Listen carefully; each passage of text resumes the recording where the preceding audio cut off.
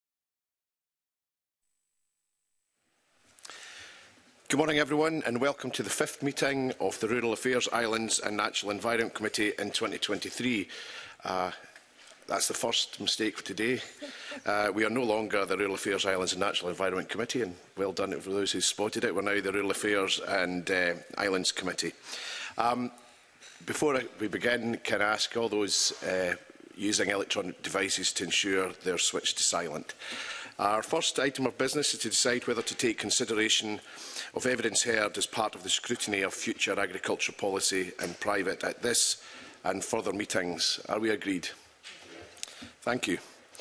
Our next item of business this morning is a round table on Scotland's future agriculture policy.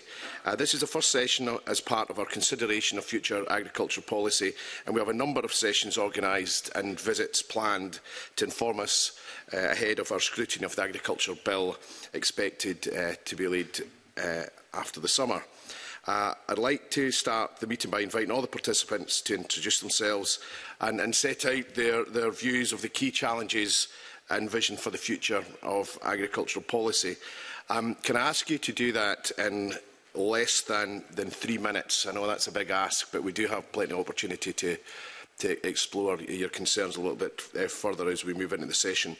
Um, but once uh, all participants have spoken, I'll, I'll ask uh, members to, to pose some questions and uh, pick out some of the key themes that we've identified uh, within our papers. So, first of all, uh, I will start on uh, my right, uh, Donald McKinnon, who is the Scottish Crofters Federation rep. to kick off, Donald. Uh, thank you, Uh, thank you, Convener. Um, yes, I, I'm Don McKinnon, uh, crofter from the Isle of Lewis and Chair of the Scottish Crofting Federation. Um, crofting is obviously a, a unique system in Scottish agriculture, a eh, unique system of land tenure with its own set of uh, challenges.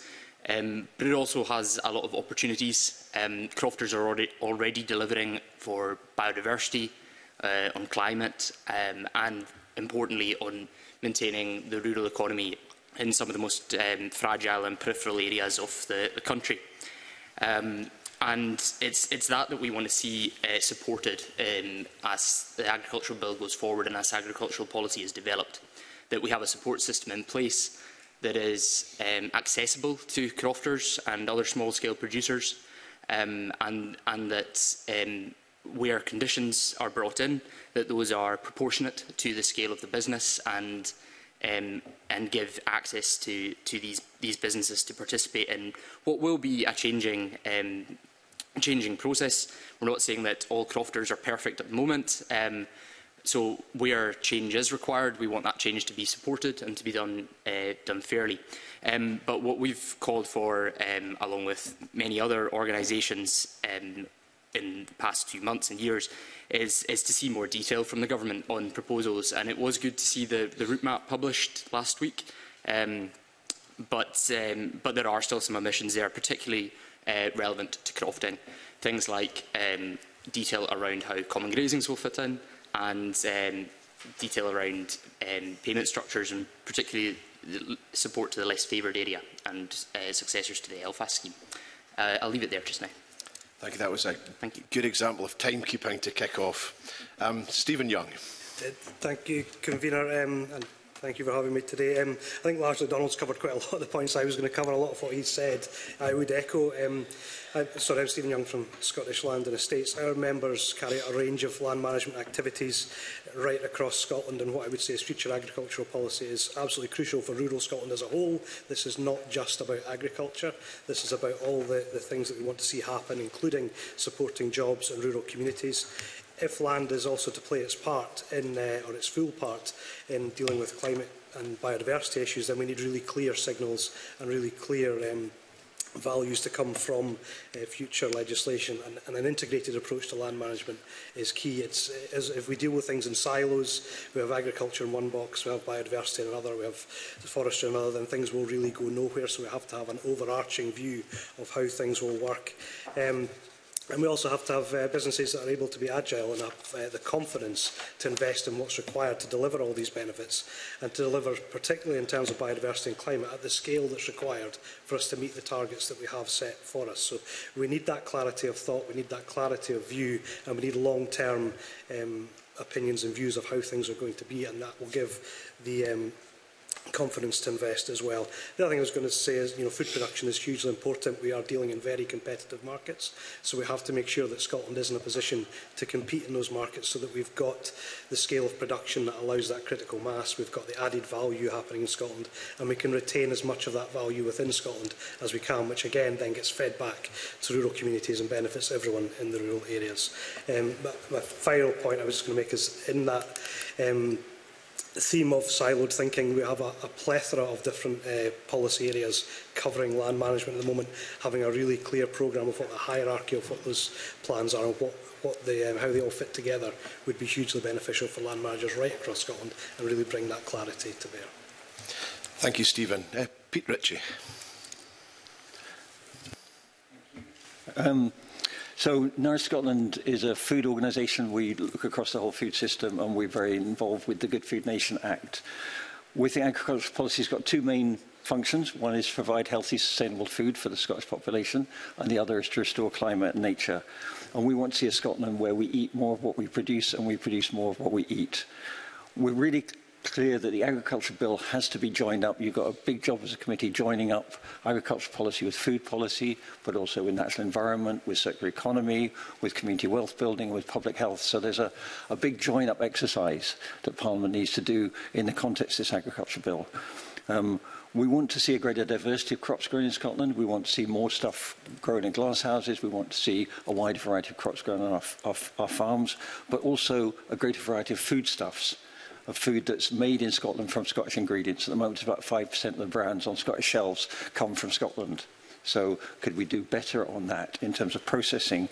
Um, and could we have a greater diversity of producers, more urban farming, more diversity of producers in our rural areas, more new entrants, more women coming in, more, more new Scots, a wider range of people coming into farming should be part of our objectives in agriculture policy. We want to see a much stronger local food economy, and we've argued for some of the money from the agriculture policy to go to local authorities to support their local food economies, um, indirectly supporting farmers by bringing creating a greater demand for local produce. If you look at the American Farm Bill, for example, 80% of the money goes to cities, to nutrition programs. It doesn't go to farmers, but it sucks, potentially uh, sucks in demand for local produce we want to see much greater emphasis on circularity in the Scottish food system. We have a linear food system where we have inputs and outputs. We need to close those loops on nitrogen, Um, we need to close the loops on feed. Waste feed from the whisky industry needs to be going to our pigs and chicken and salmon. It needs not to be going to anaerobic digestion. We need to be closing the circular loop on our resources.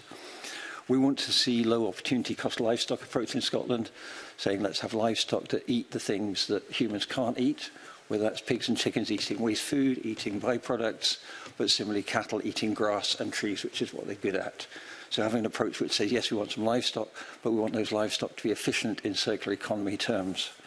Um, we want to see a halving of emissions from agriculture um, while maintaining production. That doesn't mean producing the same that we produce already, but producing the same amount of human nutrition. And that probably does mean diverting some of our crops that are currently going to feed cattle into feeding humans. So having a, a move back towards a, a grass-fed um, approach. Um, other people cover some of the other things we want to see. We want to see organics as normal. We want to see a lot more trees in the right place and to see a, a change in the landscape in the next 10 or 20 years in Scotland where trees and farming are much, much more integrated. We want to see positive animal welfare as an explicit objective agriculture policy, moving beyond negative, you know, not doing things for animals towards a positive, good life for animals. And most of all, we want to see a refocusing of all our resources in terms of research, in terms of training, in terms of advice on this new paradigm, the new type of agriculture. So seeing a real shift in the way our universities work, our, our advisors work, but, but also really investing in knowledge exchange between farmers. Because what we've seen as Nourish is that farmers want to do this and they're willing to make changes, but they need support to do that. Thank you. Thank you, Pete. Uh, Dr Gareth Haitley.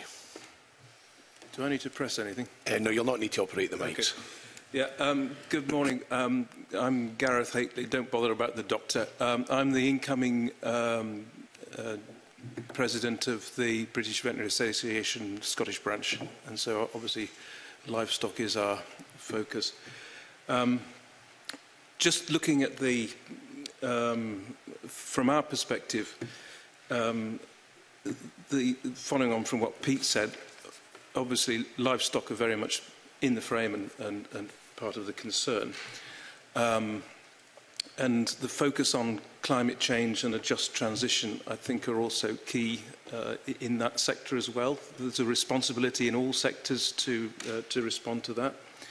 Um, we're very pleased as, a, as an organisation to have um, greater clarity um, recently uh, on the importance of animal health and welfare these, these obviously from our professional perspective are, are really important.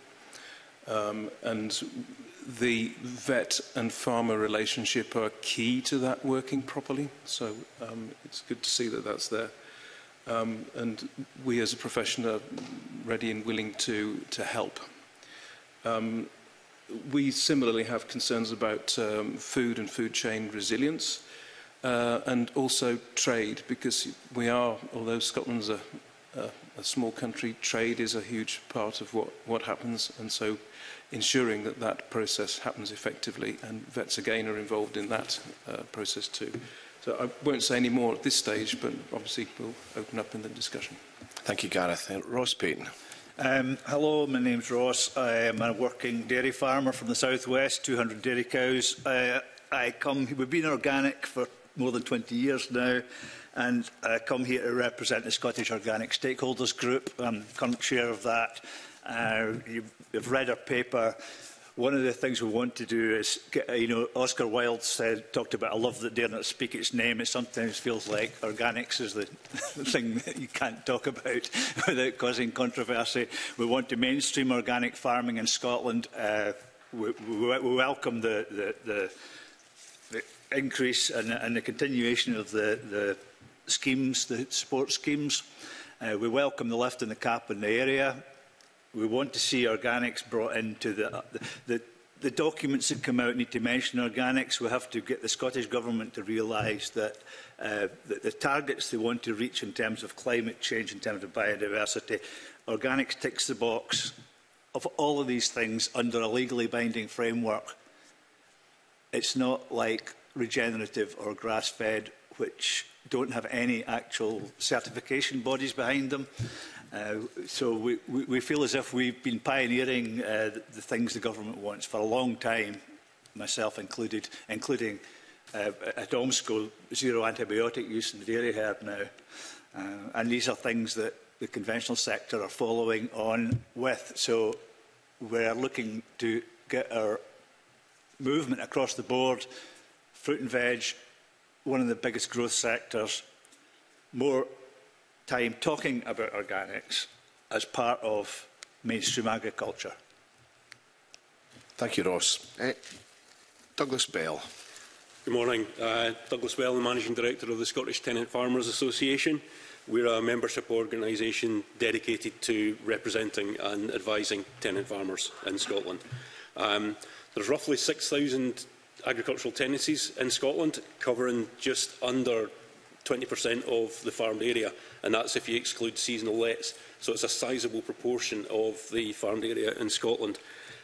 Um, we cover, our members are, cover a full range of, life, of uh, farming types. Predominantly, though, tenant farmers tend to be livestock farmers in the less favoured area, which presents its own particular challenges. In terms of priorities, from an SDFA perspective, we are looking to make sure that we've got a, a dynamic and profitable tenancy farm sector going forward. We've got to always remember that these the, the farming tenants are first and foremost people. They're running businesses in rural Scotland, um, playing their part in delivering those objectives in terms of quality food production and the other public goods that farmers deliver. Um, within the context of today, we are determined to ensure that the the specific circumstances of tenants are catered for in the new legislation and the new measures coming forward. Uh, there is scope for, for potential exclusion depending on the design and the, the detail of the design there, uh, and obviously making sure that tenants are part of the just transition. On the top of that, you'll be aware there's a, there was a, a section in the consultation about uh, modernisation of uh, agricultural tenancies. So we need to make sure that agricultural tenancy legislation going forward is fit for purpose to help us deliver those previous two priorities. So like other organisations have, have said, we welcome the, the route map and the, the, the clarity that we've, we've, we've received there. We are still, as an organisation, frustrated uh, on two fronts with, the, the, firstly, the lack of detail and then also our ability uh, or opportunity to engage with the policy-making process it's something we've been talking about for quite quite some time, that co-design and, and co-development process as an organisation we're, we're, we're, we're struggling to engage. Hopefully we can, we can sort that. Uh, we have specific concerns uh, just in terms of the, the conditionality that is going to be coming in, in terms of it being too onerous and too expensive, just the uptake might be very, very low, which is, is poor in terms of delivering Scottish Government objectives, disastrous from an individual point of view because um, livestock farmers in particular are very reliant on support payments and potentially catastrophic for the Scottish economy going forward. I'll leave it there just now. Thank you, Douglas. Uh, Chloe McCulloch. Hi, yep. I'm Chloe McCulloch. I'm the Principal Consultant for Programmes at SAC Consulting. We're part of SRUC and SAC Consulting deliver the Farm Advisory Service on behalf of the Scottish Government and I'm the programme leader. Um, I, I see the challenges for industry um, and also the opportunities from industry, from um, climate change, greenhouse gas emissions, biodiversity, food production, and so on. Um, there are clearly chunky challenges there, um, but I suppose my um, focus is on the people. Uh, I have no doubt that our industry is fit for those challenges. We have, um, we have resilience, we have enthusiasm, we have skill, we have a committed um, group of people. I have no doubt that we have the, the capacity to meet those challenges and to seize the opportunities that those provide. Uh, but I think that it's really vital that we have a strong, well-resourced advisory programme to support that, because that will make the difference between the changes that are coming uh, feeling for individuals like something that they are not in control of and are potential opportunities that they're not able to take and instead turn those into opportunities for businesses to progress and thrive and for individuals to feel like they have control over that process. It, it's not just about giving individuals that control and I think there's a there's a generational thing here we have the opportunity to to make a generation feel like there was a change and they were in control of it and they took the opportunity versus something that has happened to them that will stifle um, innovation going forward. Uh, and I think that um, a strong advisory programme will also support the pace of change that's required um, you know, we, we, we talk about the need for certainty, and I agree we, we, we absolutely need certainty for and confidence in long-term planning. We need to support people, um, but a strong advisory programme will underpin all of that.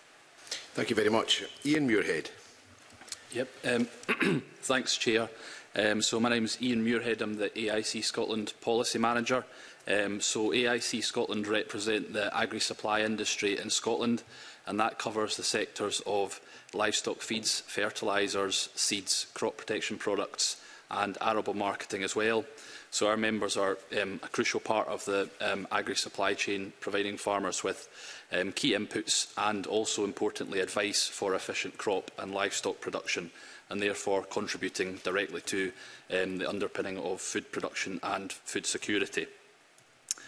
I think, um, just for my opening remarks, um, I think it's probably really important when we're discussing future agricultural policy um, to set it in the context in which we're discussing it. So, as I'm sure everybody will be aware, um, Friday, this Friday marks a year since the invasion of Ukraine by Russia. Um, and that's obviously the context in which we We discussed this and those impacts from last February in terms of the global supply chain continue to be, to be felt. And also, I guess, one of the things that those events um, highlighted was um, both the necessity and the importance of um, investing in our domestic agricultural industry um, from a food security perspective, but also alongside the many other goals and measures which future policy seek to address. And I guess what I'm trying to say, excuse me, is that food production is no longer an optional extra when we talk about agri-policy. It is absolutely central and must be central to um, policy considerations going forward. And I guess one of the other reasons for that is when we look at other um, policy um, goals and aspirations, the delivery mechanism for everything, emissions reduction, improvements in biodiversity, nature restoration, the wider food processing sector, our members and their businesses is, is farmers and having them on the ground to be able to deliver on the objectives which are um, decided upon and agreed by, by yourselves and by the government. Um, so I think those are sort of some of the key points that, that we wanted to highlight. Thanks, Chair. Thank you, Ian. Uh, Dr Andrew Midgley. Thank you, Convener. Um, my name is Andrew Midgley. I'm Senior Land Use Policy Officer at RSPB Scotland, but I'm here today representing Scottish Environment Link. Link is a collection of organisations, of over 40 member bodies that uh, work together towards the common goal of improving environmental sustainability in Scotland. And with, specifically with regard to land use, we want to see sustainable land use in Scotland. At the moment, land use is unsustainable. At the moment, we have a context where land, the land itself is a huge source of greenhouse gas emissions. Agriculture, which is a separate category, is the third largest source of emissions. At the same time, we have a biodiversity crisis. We have um, the, a, a metric called the Biodiversity Intactness Index, which puts Scotland at the 28th from the bottom on 240 countries across the globe. And it, it, sort of, it, the, the, what it tells us is that we've lost nearly half of our historic biodiversity. Now, Sorry. That's it. Bit about the biometric So there is the um, the biodiversity intactness index was created by scientists at the Natural History Museum, where they scored 240 countries around the world, and uh, recorded the degree to which they have maintained their, some historic biodiversity, and Scotland was 28th from bottom, with a score of 56%, which means we've lost nearly half of our historic biodiversity. So agricultural policy has a huge role to play in this, and we uh, want to we want to see the government continue to invest in and support farming, but we do want the government to change how it does it. We believe that the policy needs to change so that the, so that the emphasis um, the, on climate and nature increases and that um, we're able to move forward in such a way that there is not a apparent contradiction between food production and nature and climate. The, those, those things can be addressed at the same time. And key, key parts of that will be a strategic approach to land use change, So embedding agricultural policy within wider policies to do with land use, such as forestry, and um, thinking about how the whole picture fits together. And a, a key part of this is also around the just transition, uh, making sure that we think about how we accommodate change over time and how we support the industry through that process of change. Thank you, Andrew. Um, we've also got uh, three participants uh, join us remotely. Um, firstly, uh, Susan Robertson. Thanks, Convener. Um, Susan Robertson, Regional Officer, Unite the Union. On social conditionality, obviously the obligations on those who receive direct payments, um, under the SNP, if it achieves independence, um, and if it was to set up an independent trading relationship, it would obviously have to abide by the the cap. But without independence um, as part of the UK, there's still a question as yet unanswered about UK divergence. Um, that is, will UK farm employers have an advantage over EU farm employers? Because the UK farm employers will not have the same explicit link between subsidies and labour rights compliances. And we think it'd be wholly possible to add to the agricultural bill at this point make the connection between taxpayer money and fair work. Um, Scottish Agriculture Wages Board and Fair Work First, in their long document uh, delivering our vision for Scottish agriculture, it's really disappointing that in this very long document there is little on workers and the section on the Scottish Agriculture Wages Board and Fair Work First has, has little detail. Um, the distribution of direct payments, we would like to see that to be fairer. As the case is now, smaller farm enterprises are struggling and are at risk of going under. But at the same time, they exist cheek by jowl with some of the richest farming enterprises in the country, which also benefit from lucrative diversification such as shooting and fishing. Um, and there is wealth in farming unevenly spread and very little tricked down. And lastly, um, we would fully endorse the report by Caroline Robinson. She wrote a report entitled Assessment of the Risks of Human Trafficking for Forced Labour on the UK Seasonal Workers Pilot, which I can comment on further. And a lot of her findings are uh, cases that unite here on a regular basis. from migrant workers who are employed on farms. Thank you. Thank you, Susan. Uh, now move to Denise Walton. Thank you. Can everybody hear me all right? Yes. Yep. Great. Thank you, uh, Chair. Thank you for inviting the um, Nature Farming Friendly Network New evidence today, I'm the Scottish Chair. I farm in South East Berwickshire. Um, our vision is that Scottish farming becomes a force of recovery and repair with production of nutritious food through the adoption of agroecological principles working with nature on every farm and that this is supported and supported quickly and rewarded with a just transition. Do we have eight principal asks.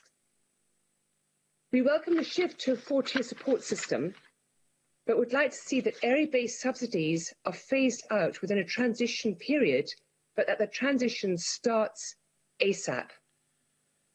With other signees of the Climate Emergency Response Group, we call for £200 million to be spent over the next 10 years for the co-design, industry-led partnership of regenerative and agroecological learning, research and development, and regional peer-to-peer -peer knowledge transfer.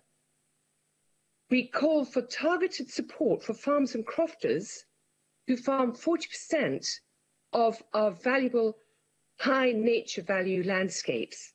We want to see equity for small scale farmers at one hectare, possibly even less, and a small farmer scheme which will bring greater diversity into our industry. We want to see whole farm plans rewarded and that they should be ambitious and that they will become tools for revealing the link between profitability, biodiversity, and working with nature. We want to see forestry integrated much more clearly with farming. And that tree planting within the whole farm plan is part of a national target for agroforestry and hedgerows supported under tiers two and three. We must see food and farming policy coherence to realise the ambition of our Good Food Nation. We need to have regional and local procurement from farmers who are practising established nature-based farming processes. And finally, we must support, the bill must support and incentivise reduction in reliance on petrochemical high emission inputs and that these should be time bound reduction targets. Thank you. Thank you, Denise. Uh, we're now going to move to Dr Tara White. Uh, and I know Tara's having some connection problems, so fingers crossed we can keep you online, Tara. I think the connection's a bit better today. Um, hi, everyone. Thanks, Chair. Um, I'm Tara White from the Land Workers Alliance. Uh, the Land Workers Alliance, we represent farmers and crofters who are using agroecological and more sustainable practices on their farms um, as well as land workers and workers on farms who are interested in sustainable transi transitions. Um, a lot of our members have already begun this process of transitioning towards a more regenerative and agroecological farming system, without often with very little government support at all, and in the face of quite serious challenges. Um, so, uh, but have really led the way and shown what can be done in a Scottish context. The first thing I'd like to focus on would be yeah, the kind of transition um, aspect and the need for, the need for a kind of large scale transformation of our system of our farming system and we would advocating that transition on changing the agri the agricultural practices on farm so so that we're not viewing any more kind of nature versus farming um, but looking at ways which we can farm which support nature farming with nature on all of our farms including um, how we can, re- you know, reducing in- inputs, improving agrobiodiversity, um, implementing agroforestry and regenerative grazing practices, for example, which can really support biodiversity and sequester carbon without reducing food production. Um, it, might, it might involve shifts in how, how we, what we produce and how we produce it. Um, but we believe very strongly that farming and nature can go together. Farming can, can support nature um, this transition is going to require um, a very a strong kind of advisory service and support system, including peer-to-peer skill sharing and training um, to realise the scale of change that we need to see. And uh, the other thing I wanted to talk about was the, the justice element of the just transition. Um, the transition, a transition to a more sustainable food system um, needs to be just for everybody. And at the moment, we I've, I would like to echo some of what we've, we've heard about the huge inequality that exists within the farming sector. There is wealth in farming, but that is not equally distributed. And the current payment system is not uh, is making that worse. It's not making it better. We're, we welcome the um, inclu inclusion of some legislation around workers' rights um, in the agriculture bill, but think that this could be strengthened further with the addition of social conditionality as well as environmental conditionality um, to yeah, conditions on receiving payments. The other thing we'd like to emphasise, we have a lot of a lot of our members are small scale farmers and crofters, and they often produce really large amounts of food for local food systems, pioneer sustainable practices, and help with community development in rural areas and under the current system receive very little support to do this. So we would firstly like to, to see a shift away from an area-based payment system, particularly in terms of the income support tier of the proposed agriculture bill. Um, we would like to like emphasise that having more land shouldn't mean you have a higher income.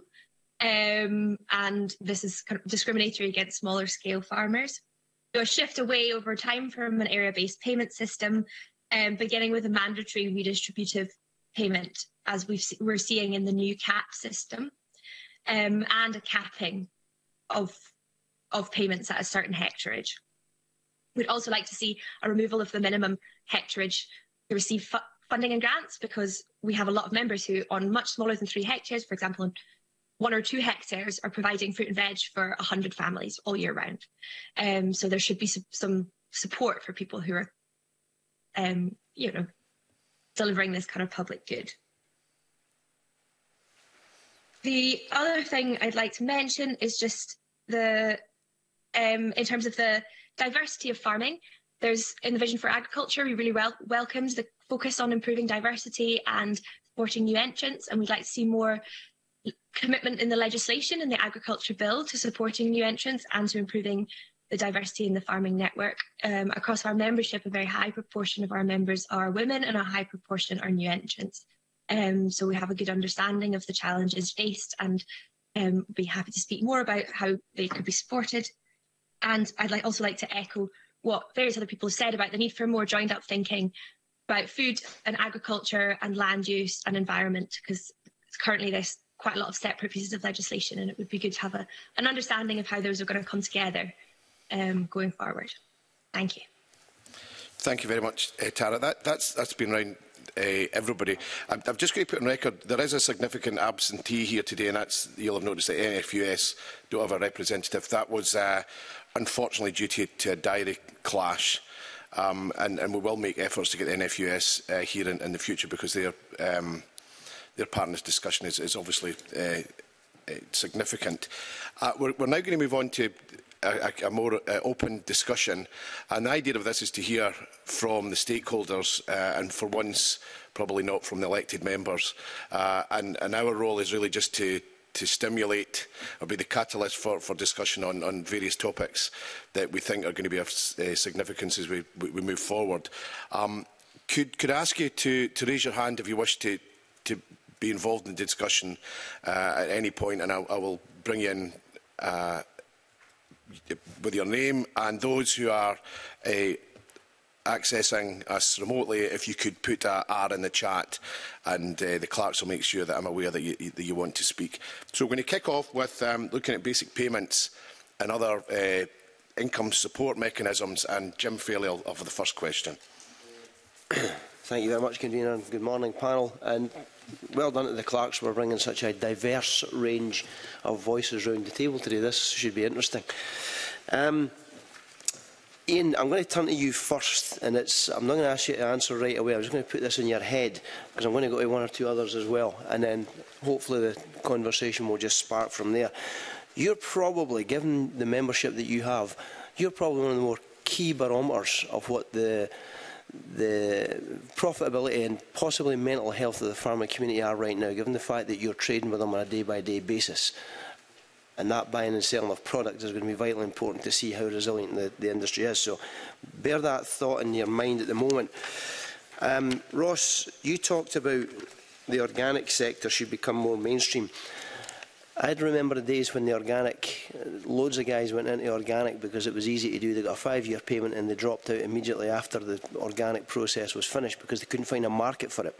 So, should organic be what we're producing without premium, or should there still be a premium and will people pay that premium? So, hold that thought and we'll come back to it if that's okay. Douglas, you're saying that the, the, the tenant farming uh, community the, the account for 6,000 tenants, covering 20% of the land.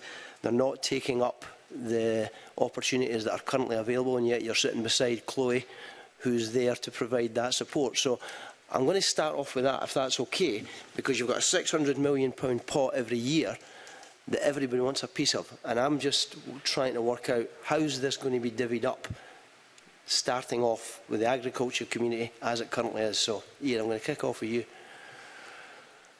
Thanks, uh, Jim. Um, yeah, so from our pr perspective, so you mentioned um, mental health in the agricultural industry. Um, I think there is a general consensus that there is a, a major issue there. there. There's a lot of uh, there's a lot of depressed farmers out there. There's a lot of anxiety. Um, there's a lot of loneliness. loneliness. Uh, one of the things that we are doing is working with RSABI, um, and they are developing a training course for mental health first aid.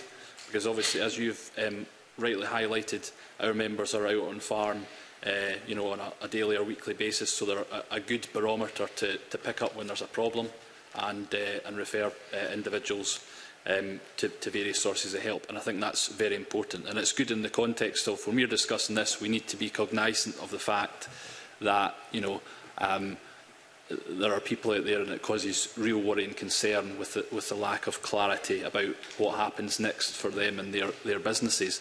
But I just wanted to rewind a wee bit and I would say that in many ways there are lots of good things about agriculture in Scotland and the wider UK as it stands in terms of our sustainability credentials. You know, if you think about it, we're talking about the circular economy – And in many ways, agriculture is the original circular economy. If you think about um, upland production uh, underpinned by direct payments of suckled calves that are then finished in um, lowland arable farms, and the manure is essential for soil health to produce malting barley that produces malt, which produces whisky, which produces, produces a massive amount of revenue for Scotland and the UK and is a, a great export success story That is an example, and as Pete had mentioned, the byproduct of that whisky making process is sustainable protein in the form of draft um, for livestock. So there is a, a, good, a good loop there that also that we don't want to disrupt because it is a success story for Scotland and for our members as well.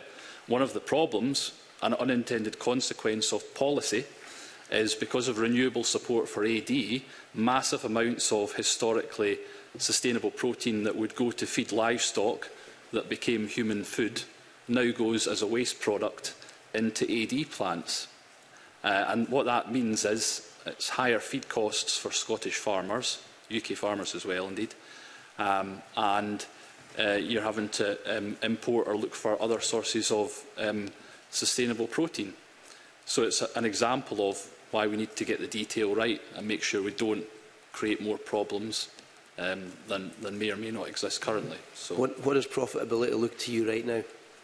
look like in the farmer community right now? Because uh, mental health is directly linked to profitability. Uh, I mean, others will want to, to comment on this, but it very much will vary between individual farm businesses and their circumstances. So, for example, the dairy sector had been enjoying um, higher milk prices, but that looks like um, global markets are softening. At the same time, there's a cost-price squeeze there with increased costs for inputs. Um, from a positive perspective, when we're looking at things like um, crop nutrition, so fertiliser, um, have to be careful what we say here, but if you look at the gas futures markets, which are an indication of um, the costs of fertiliser, um, they, they are, you know, they, they are coming, they are significantly reducing from their peak in 2022. So from that perspective, there are reasons for optimism. But again, there's just a general volatility. And if you look back to um, earlier in 2022, there was extreme volatility in the grain market. Um, and obviously that makes it difficult both for farmers but also for feed companies to, to lock in a, a, set price. And likewise, if you're a fertiliser manufacturer, um, there's a really high risk in, in, a, in a falling gas market of when do you lock in to buy your gas to run your plant to produce fertiliser. Um, if you do it at the wrong stage, the, the price is, is uneconomic for you as a, a producer, and likewise, if farmers can't afford to buy it, then that has a knock-on impact upon their ability to continue to produce. And then you get the issue with scaling back of production, malting barley, all these sort of, of impacts. So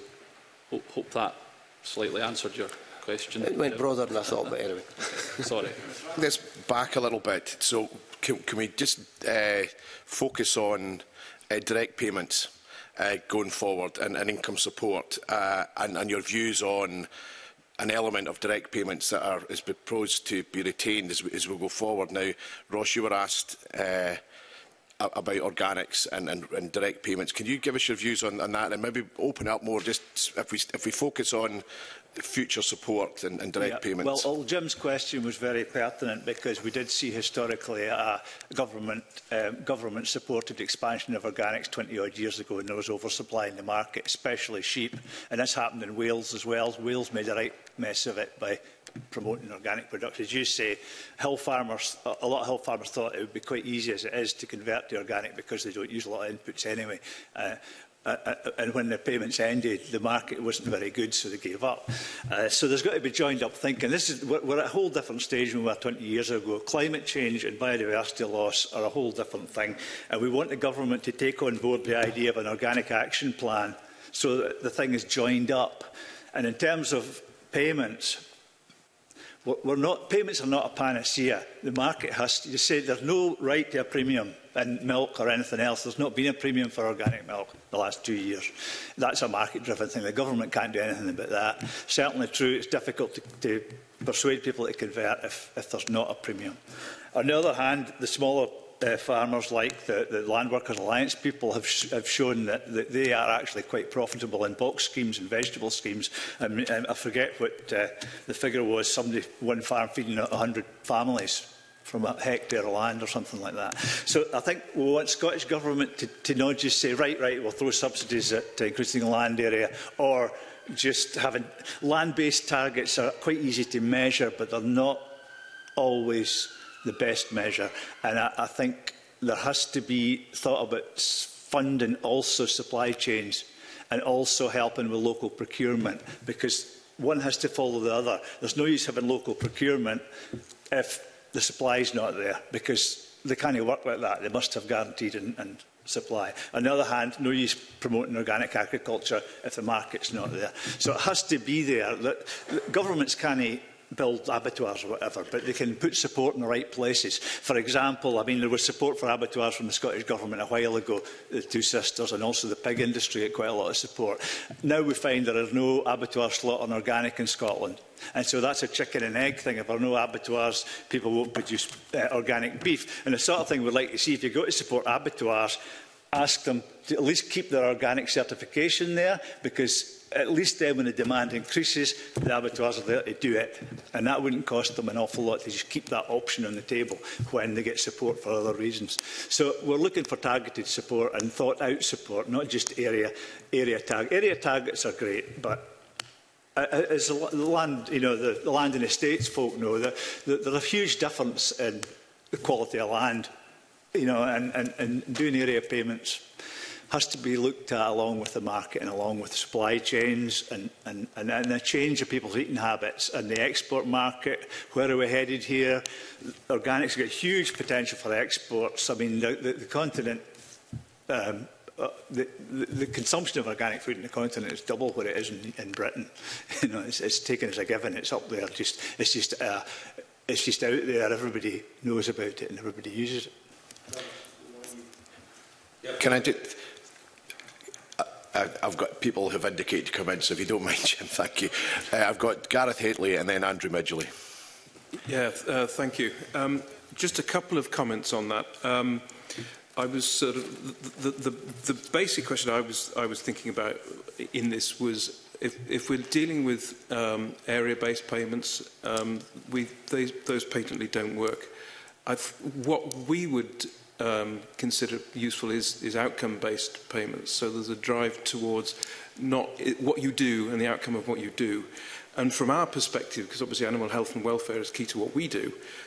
um, it's, it's also links in with a whole lot of, of the other things that, that we've been hearing about. Um, I would also argue that uh, um, there's an aspect of, of uh, farmers' mental health there because it's, it's, profitability is, is, is literally the bottom line. But also, if for a variety of reasons farmers can't do what they perceive they ought to be doing, and that includes looking after livestock, farmers are hugely driven by um, looking after their animals. If they can't do that, that is a, uh, is a potential mental health issue. Um, organic, from when I was in practice a million years ago in Oxfordshire, um, about a third of our clients uh, at one time were, were organic uh, including the current CEO of the Soil Association. Um, so uh, we had a, a spectrum of um, clients who were highly driven, highly motivated, through to those who were motivated by the premium.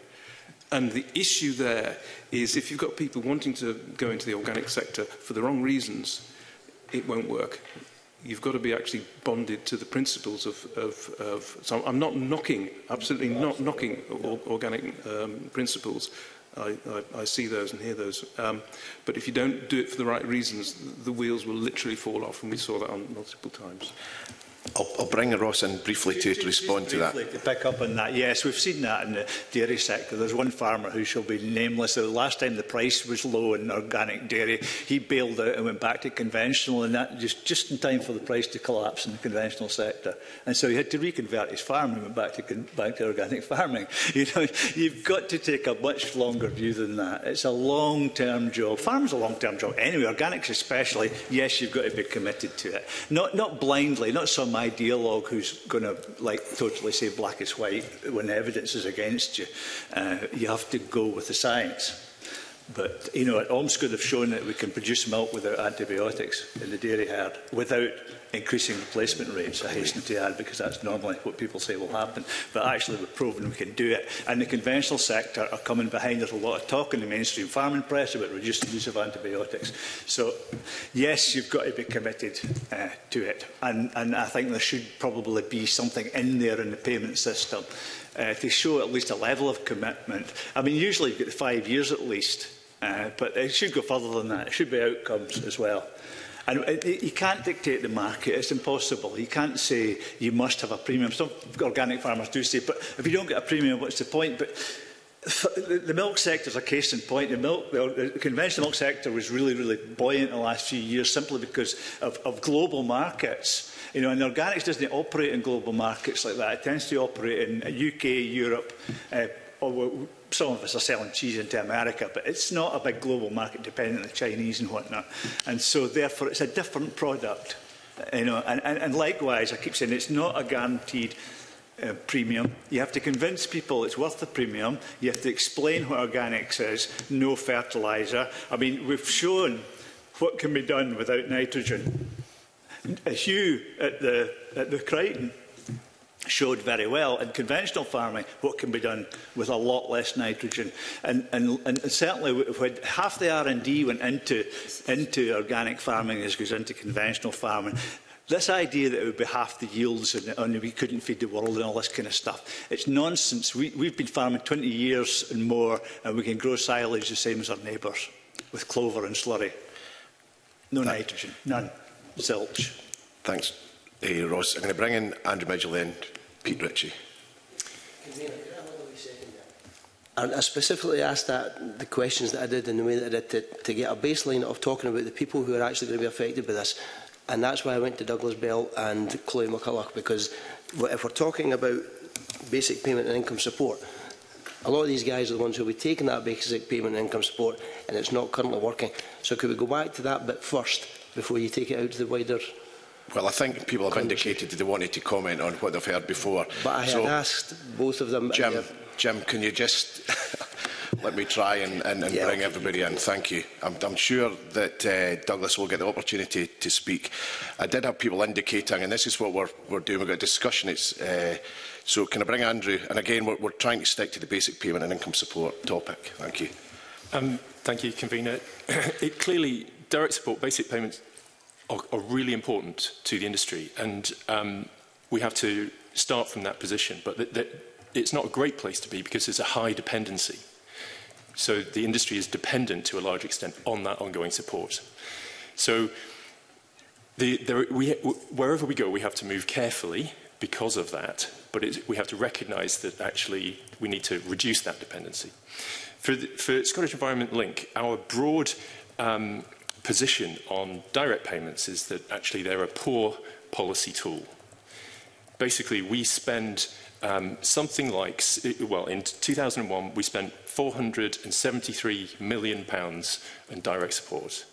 That was 77% of the budget.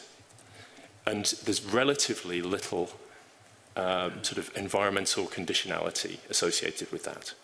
So clearly, in the context of what the government has acknowledged is a climate and nature emergency, we have to think about how we're spending public money. So we need that money to do more, acknowledging how important it is for farming, but we need to change how that money is spent so that it delivers more. So we support farmers and deliver more against nature and climate. So um, in effect, it's something I, I disagree with some, something that Ian said. He, he said that supporting food was an optional extra. So direct, direct payments got 70, 77% of the budget. But in the same year, the Agri-Environment Climate Scheme got 4% of the budget. That is the optional extra at the moment, and we need to turn that around. Okay, thank you. Uh, Pete.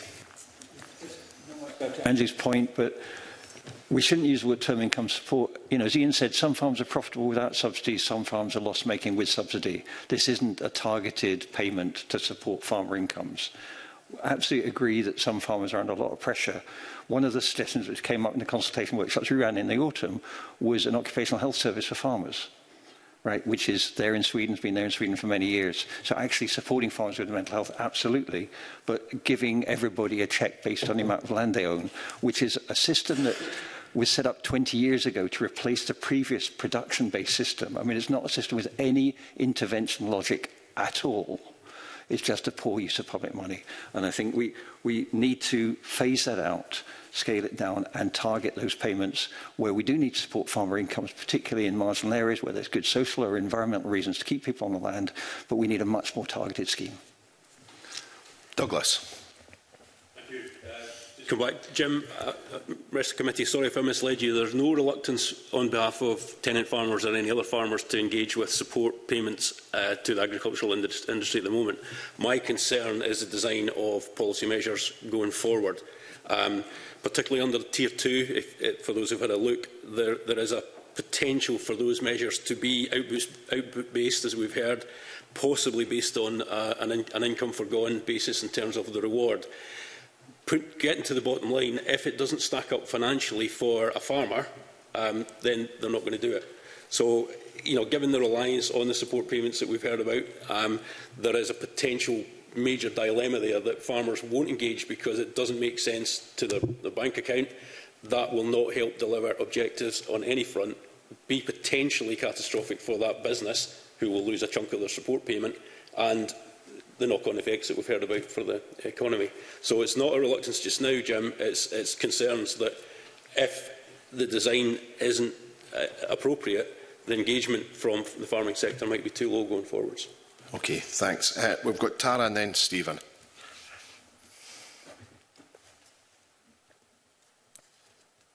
Um, yeah, hi everyone. Um, yeah, I just wanted to say about the um, from the kind of in income support perspective on basic payments, we are certainly very in favour of there being some level of income support. As, we, as we've heard, obviously farmers are very reliant on very volatile markets in terms of profitability, um, and that that means there's a huge amount of risk associated with farming and it's you know it's very hard work so that kind of combination means that income support is really i think vital going forward and particularly in terms of mitigating against the risks of trying out new practices as we go through this transition to a more sustainable practice there are risks involved with that transition and we need to make sure that everyone has an income to support them through that um, i think that what we're yeah what we're seeing at the moment under the basic payment system is not an income support system. Money just based on how much land you own, that's that's not income support. That's a yeah, you've just been given a check based on how much how much land you have. That doesn't support the people that need it most.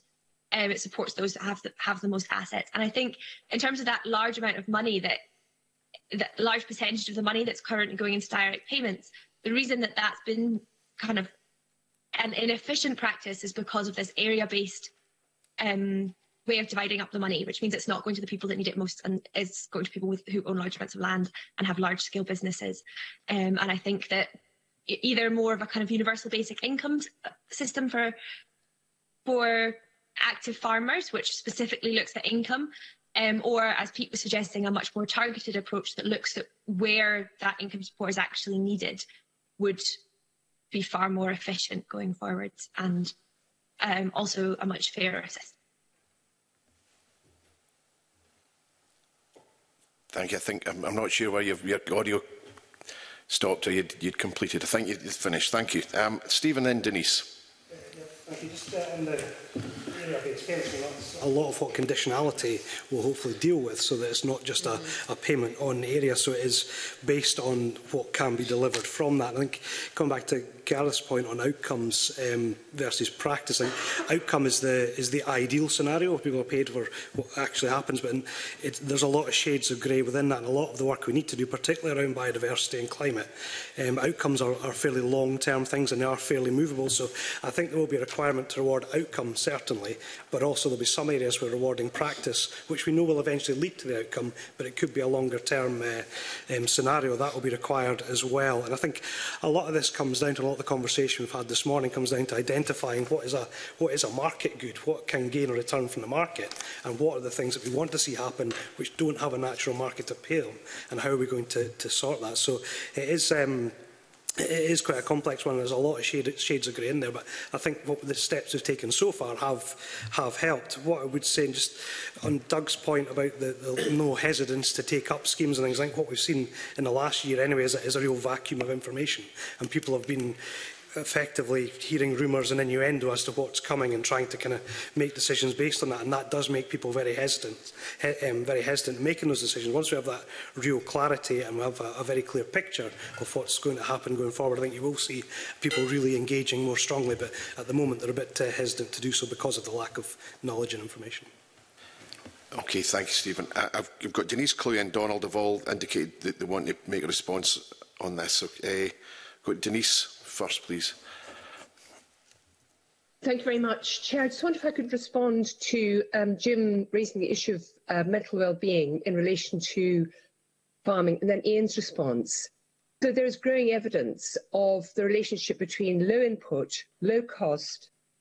regenerative farming practices and improving health and well-being of farmers who are practicing it, not least you know, I think we all know the impact of farm debt on mental health.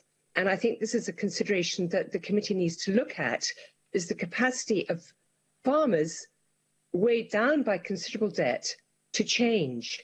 So there is growing evidence of the relationship between mental well-being and agroecological practices. Um, and I can respond to the issue of direct payments now, if that would uh, be appropriate, Chair.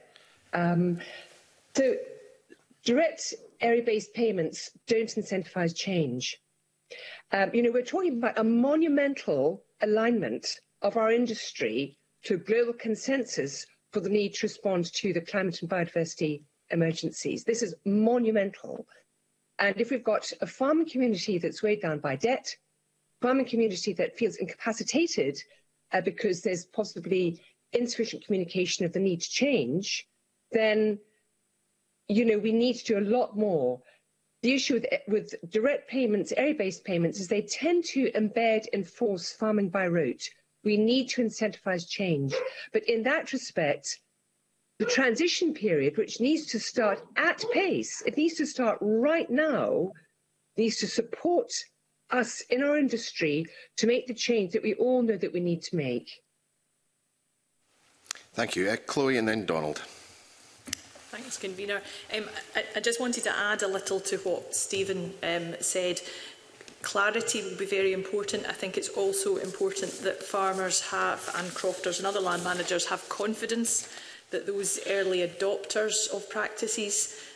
um, will not be disadvantaged uh, by having gone early um, as opposed to waiting for support to make to make a change.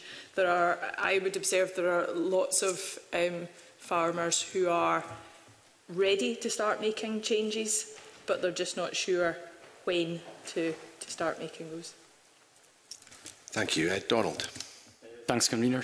Just wanted to pick up on the point about the basic payment scheme and talking about area-based uh, payments.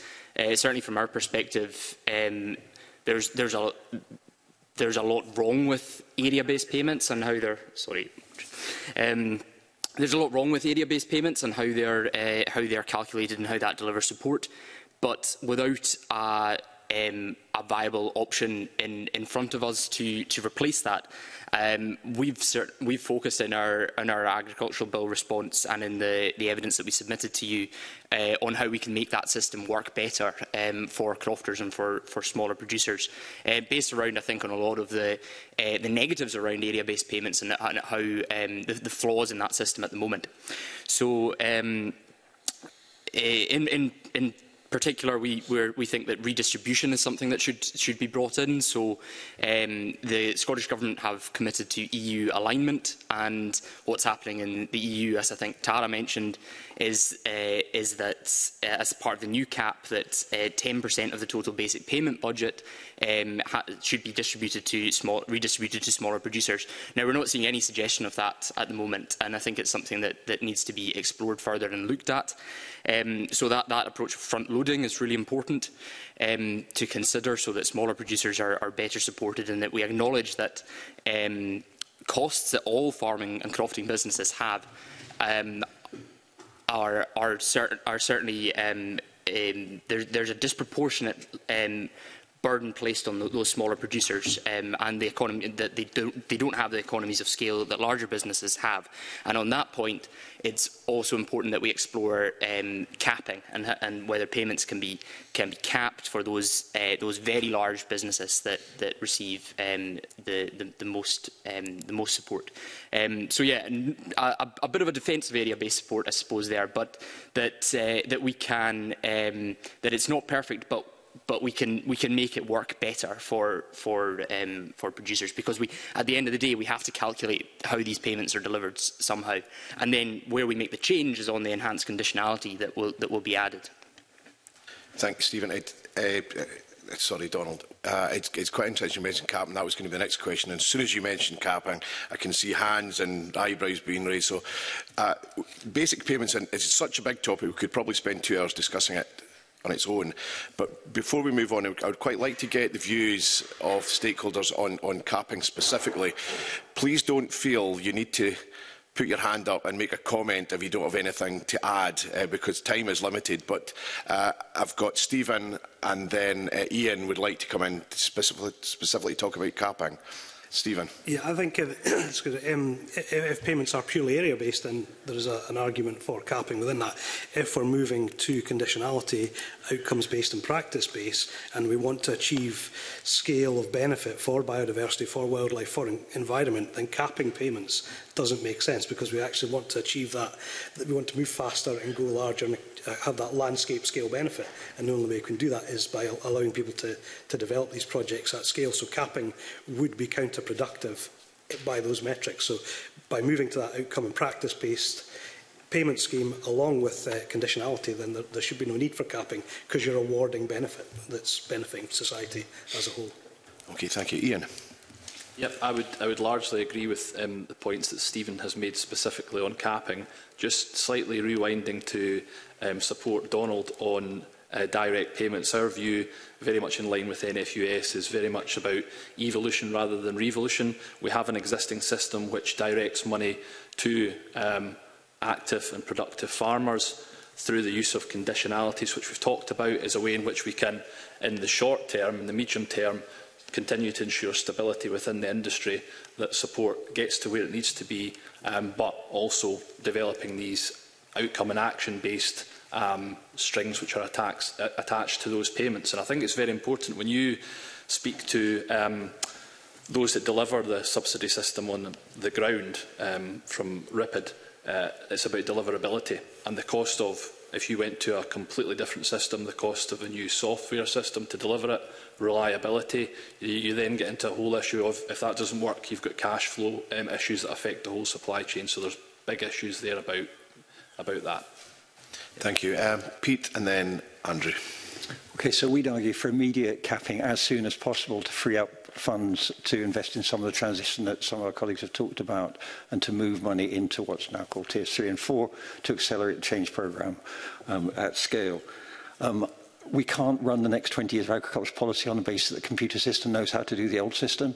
We cannot allow the computer system to determine how we run agriculture policy in Scotland.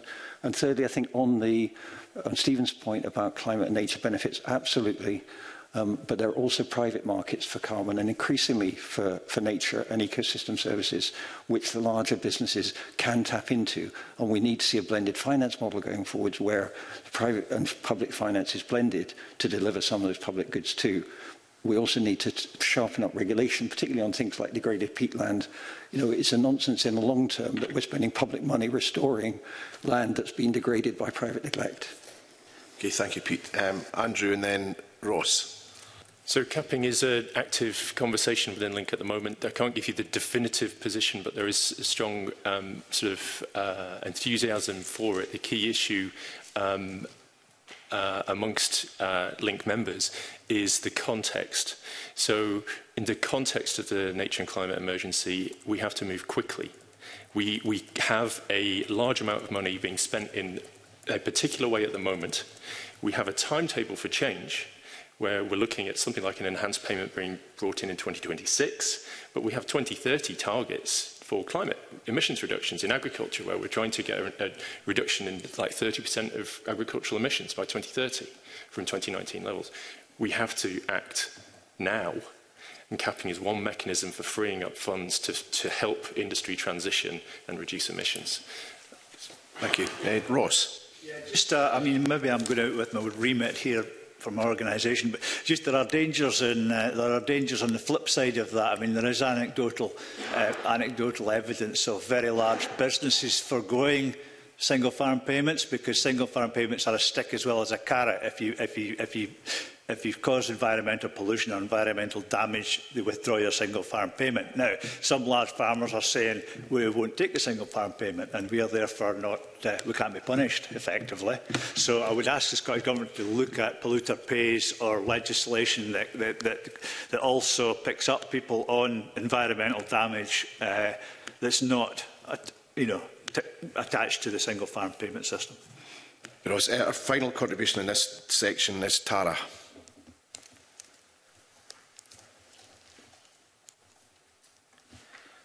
I just wanted to say, yeah, we, we support um, immediate introduction of capping so that we can free up money for the transition process.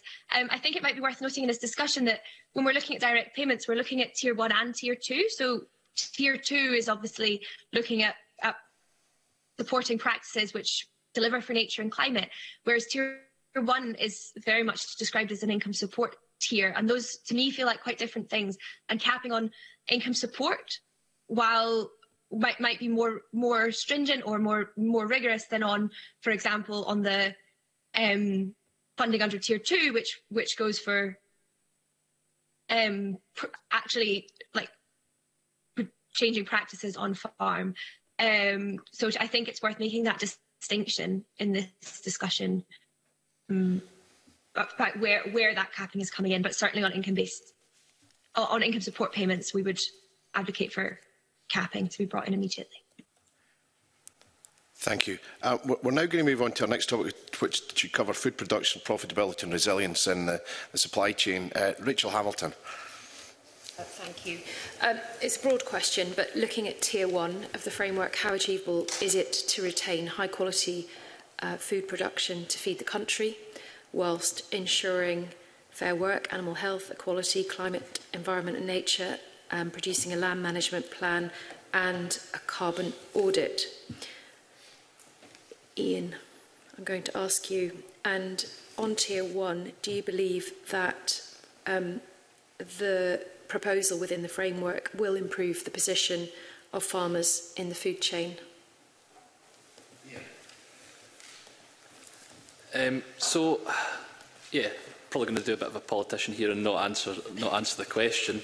Um, I think from our point of view, one thing that's very important um, is having joined up policy and that's sort of been touched upon by, by various people and part of that is also about the regulatory environment in which agriculture um, operates as opposed to just um, you know support payments uh, so in that sense you know I think one of the things that we're trying to say is that the whole supply chain, chain needs to have um, access to new and emerging technologies that can help them meet a lot of the policy objectives that are going to be set in terms of sustainability, reducing emissions, um,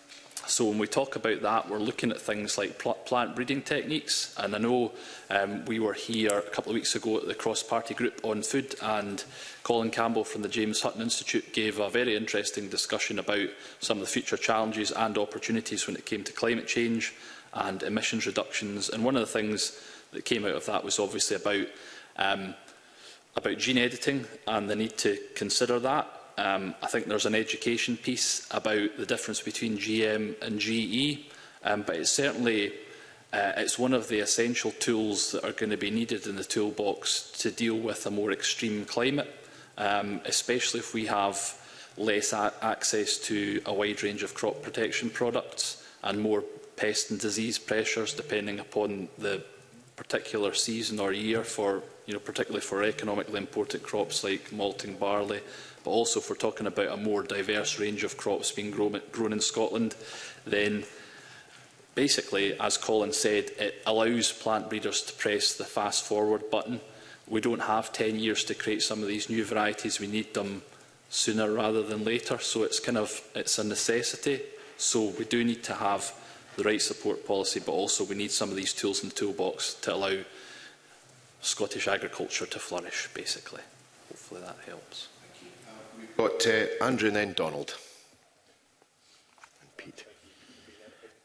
the, position in relation to Tier 1 broadly is a, it, it very much mirrors the current approach to basic payment, which we dislike. But the government is committed to do it, so the, the commitment to try and increase the conditionality in relationship to Tier 1 is an improvement on the status quo. So we support the, um, the suggestion of including whole farm plans. We think that that process is an important one to try and, and weave in sort of environmental considerations into the whole business planning.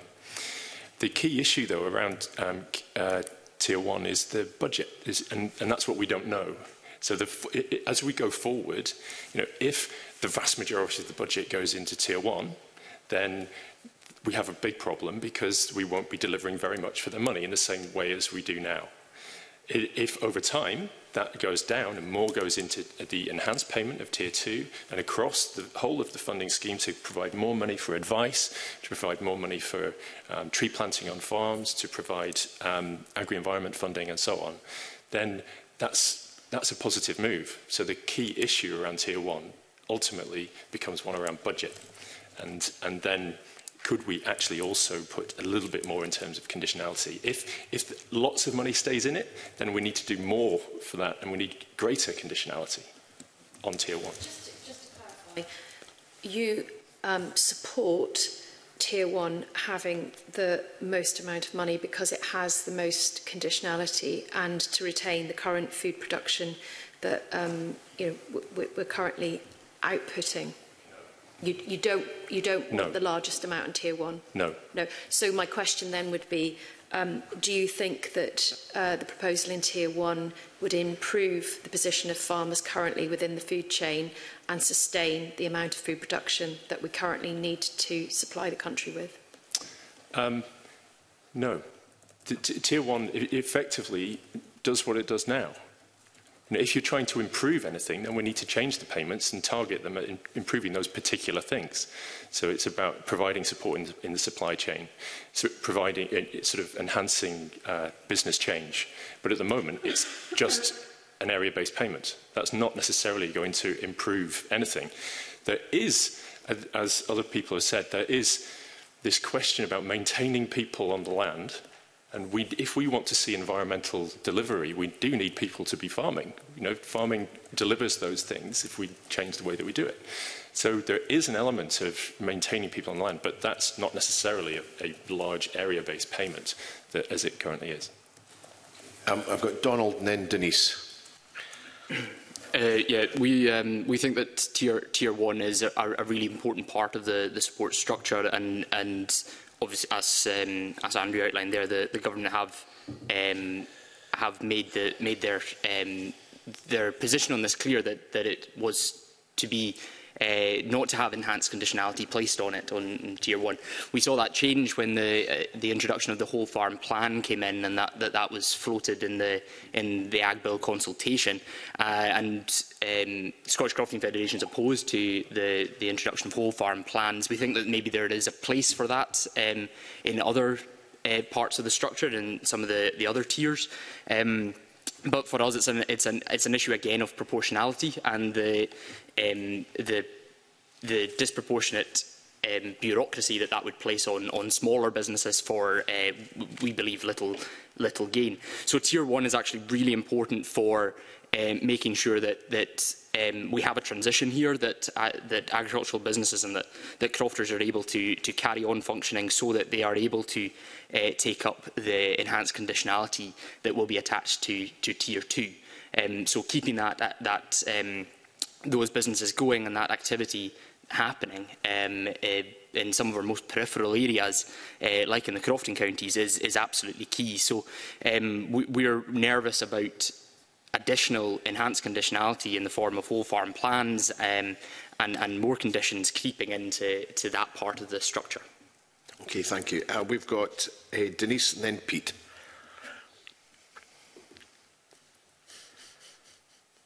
Um, Re-emphasise that you know, we would like to see a transition to tier 2, 3 and 4 and that we are confident that uh, the movement to, to those tiers two, three, and four will provide the list of outcomes that Rachel has listed, not least high quality food, lowering emissions, responding to issues of biodiversity and climate. And I just wonder if I could possibly, um, in terms of the, the influences on our industry,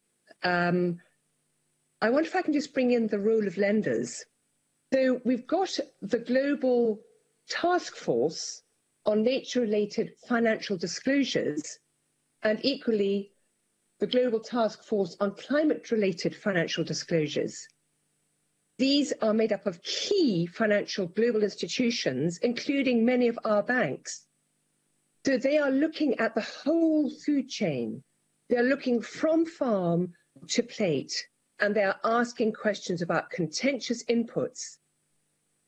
I'm aware of many farmers in Scotland who are being asked about contentious inputs by their bank managers. So obviously, it's very important that we're having the right legislation to drive the right change in our industry. And I'll re uh, rephrase this as a monumental change, monumental alignment to make good where we've been. And we can do it but the lenders are also influencing us. And I'm absolutely confident that Scottish farming can deliver on these issues. Um, incidentally, I have to also make the point that genetic engineering or genetic modification isn't going to provide us with the answers, but we can on our farms because we've got the answers at our fingertips and at our feet. We can make the changes without deferring responsibility to outside influences like GE and GM. But I do think the committee needs to consider the impact of lenders on how we respond as a industry within a food chain. Denise, Denise, can I just ask you Uh, on the genetic uh, technology point, whether you agree that plant breeders should be allowed to create varieties using um, genetic technology so that we can keep abreast of um, uh, disease resistance. Can I, can I, I intervene I there? I, it, it's, a, it's a really good question um, but we could spend a whole session discussing genetic. We, we need to focus on the forthcoming agriculture I'll bill and, and what might be included day. in that. But uh, yeah, it, it, it will be something we touch on in the future. My apologies, we really, we really need to move on.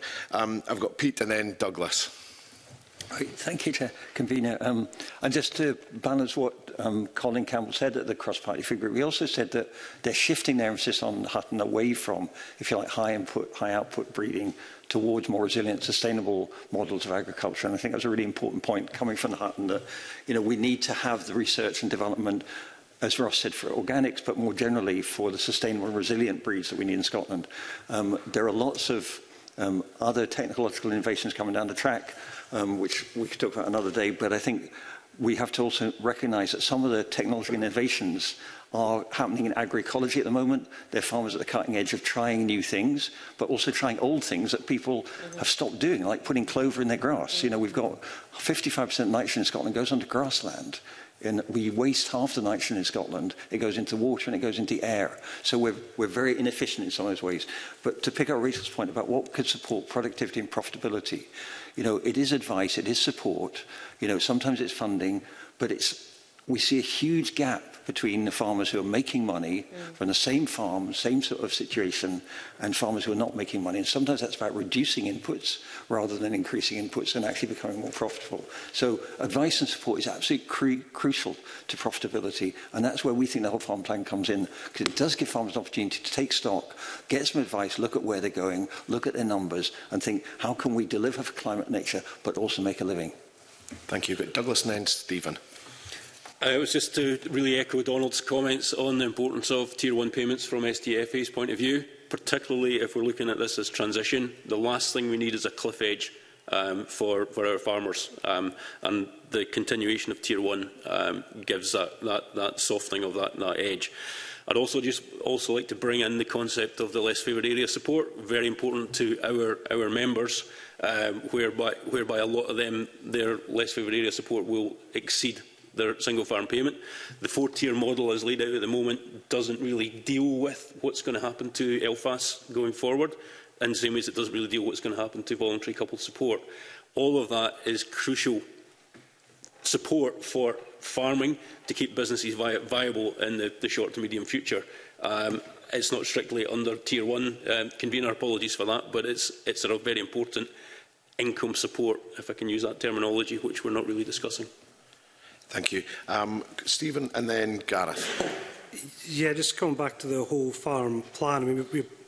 broadly supportive of that, but uh, as long as it's got a very clear reason for being there, which is a, a business improvement tool, there's a danger if it becomes overly bureaucratic and it becomes too many regulatory elements of it that it becomes a monster and, and it loses focus as to what it is. And if it becomes that regulatory tick box, then its value is lost. And also the time of advisors, which could be spent driving that improvement in the industry, is spent filling in forms for people and, and it's wasted effort, time and money. So we'd, we'd really appeal for that to be a really focused tool, which is on about driving the improvements that we're, we're all talking about around efficiency and, and wider benefits. Um, a couple other points. One, picking up on Denise's point on lenders, I think that, that that's happening already, and it's a really good point. Lenders are looking at how sustainable business models are, how forward-thinking uh, people are, and, and whether they're fit for the future. Um, and also just on, on Pete's one of it, we've got a real issue around uh, formal farm trials, that they are largely paid for by companies who are uh, manufacturing chemicals, manufacturing fertiliser and things. Um, so we have to look at how we have those formal trials, who pays on, how we get that benefit and those kind of replicated benefits and really drive that improvement through those low input systems as well well as the higher input systems who have a, a large kind of commercial benefit to them. So. Thank you. Um, Gareth. Yeah, thanks. Uh, just to follow on from what Stephen was saying, um, just to counsel a little bit of caution on, um, although we would broadly support um, the whole farm plan, I think the, the key to things like that working are that they are dynamic you know, I wrote my first farm health plan, which was to do with animal health and welfare back in 1986, and it sat in a drawer. It's got to be an active, dynamic process uh, where the farm is working with the experts, which may well be the vet, it may well be SAC and, and others, um, in, in, a, in a whole, whole team approach to, you know, to drive the business forward. Um, and just to say that, you know, the the British Veterinary Association has got plenty of experience in that sort of area. I'm very happy to offer support and help when needed. Thank you. Um, Chloe and then Denise to, to close off this, this part of the discussion. Thank you. Thank you. Um, on the whole farm plan, um, I agree with Stephen. It's important that we are clear that this isn't a bureaucratic box ticking exercise. Um, the question I would raise is whether the tier one is the place to put the plan. Because I think what we know is that if you actively choose to embark in that kind of planning process, you're far more likely to then take action and do something with the information that you've got. We could um, do these as a, you know, a, a part of the, the baseline conditionality for everybody, but would they then go on and take up the actions that are identified in the plan? It might be a more effective exercise to have in one of the other tiers than is this um, conditionality piece.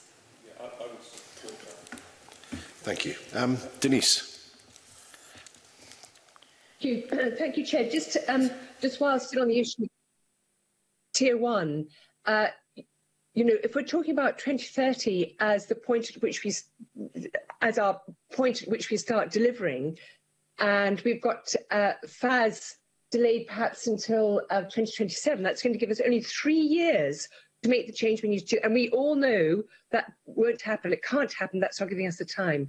So tier one is the beginning of this process. Tier one needs to start immediately with supporting transition.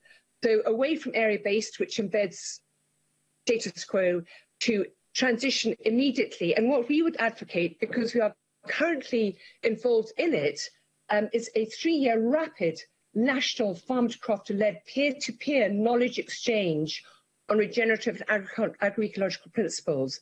We're already taking part as an organisation with Nourish and other partnership organisations in rolling out native supported peer peer-to-peer knowledge programmes, which are having very beneficial results. And that sort of support needs to start immediately. We've got to start now with supporting transition, supporting farmers, actually engendering confidence in this monumental alignment that we're having to face.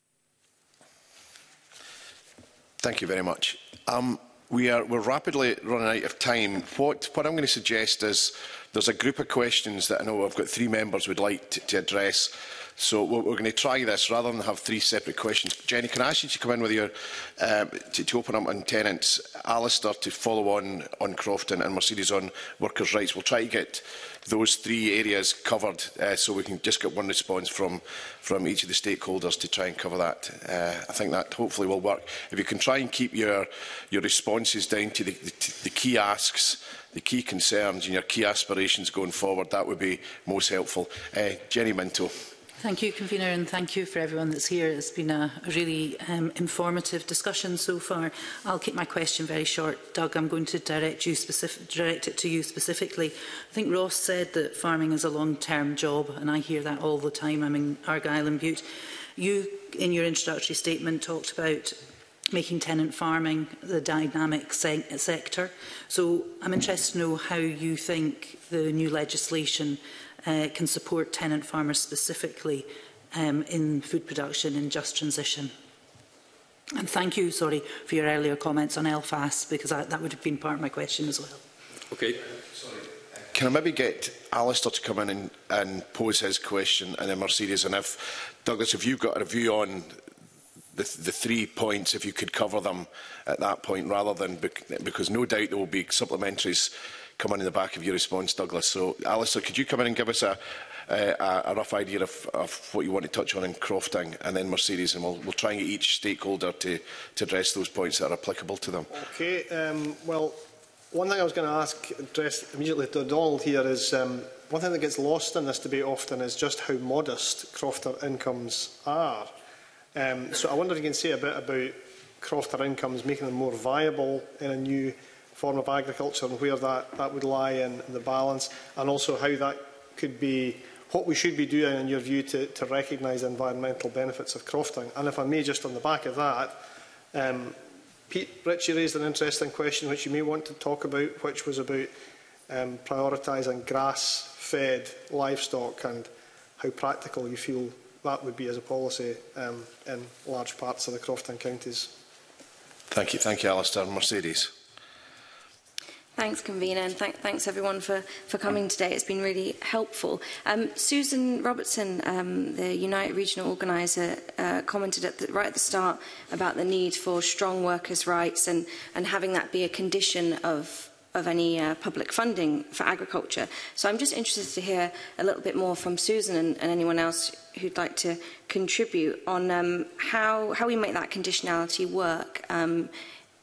in, in the new bill in relation to the, the different tiers. Um, I guess, yeah. Thank you. Uh, Douglas, would you like to kick off, please? Okay, thank, thanks for the question. In, in terms of keeping the um, Tennessee sector vibrant and, and, and, dynamic. It's really, it's really about ensuring business viability, making sure the, the tenant farmers are faced with paying the rent twice a year, and that really focuses their mind. So financial viability is absolutely paramount in terms of the, the, the rest of the, the delivery of public good. Um, our main focus at the moment is making sure that whatever policy measures are introduced are actually feasible for the tenancy sector. Um, we have a, a, a raft of issues which we haven't got time to go into, but you know, generally speaking, we've got an issue with definitions.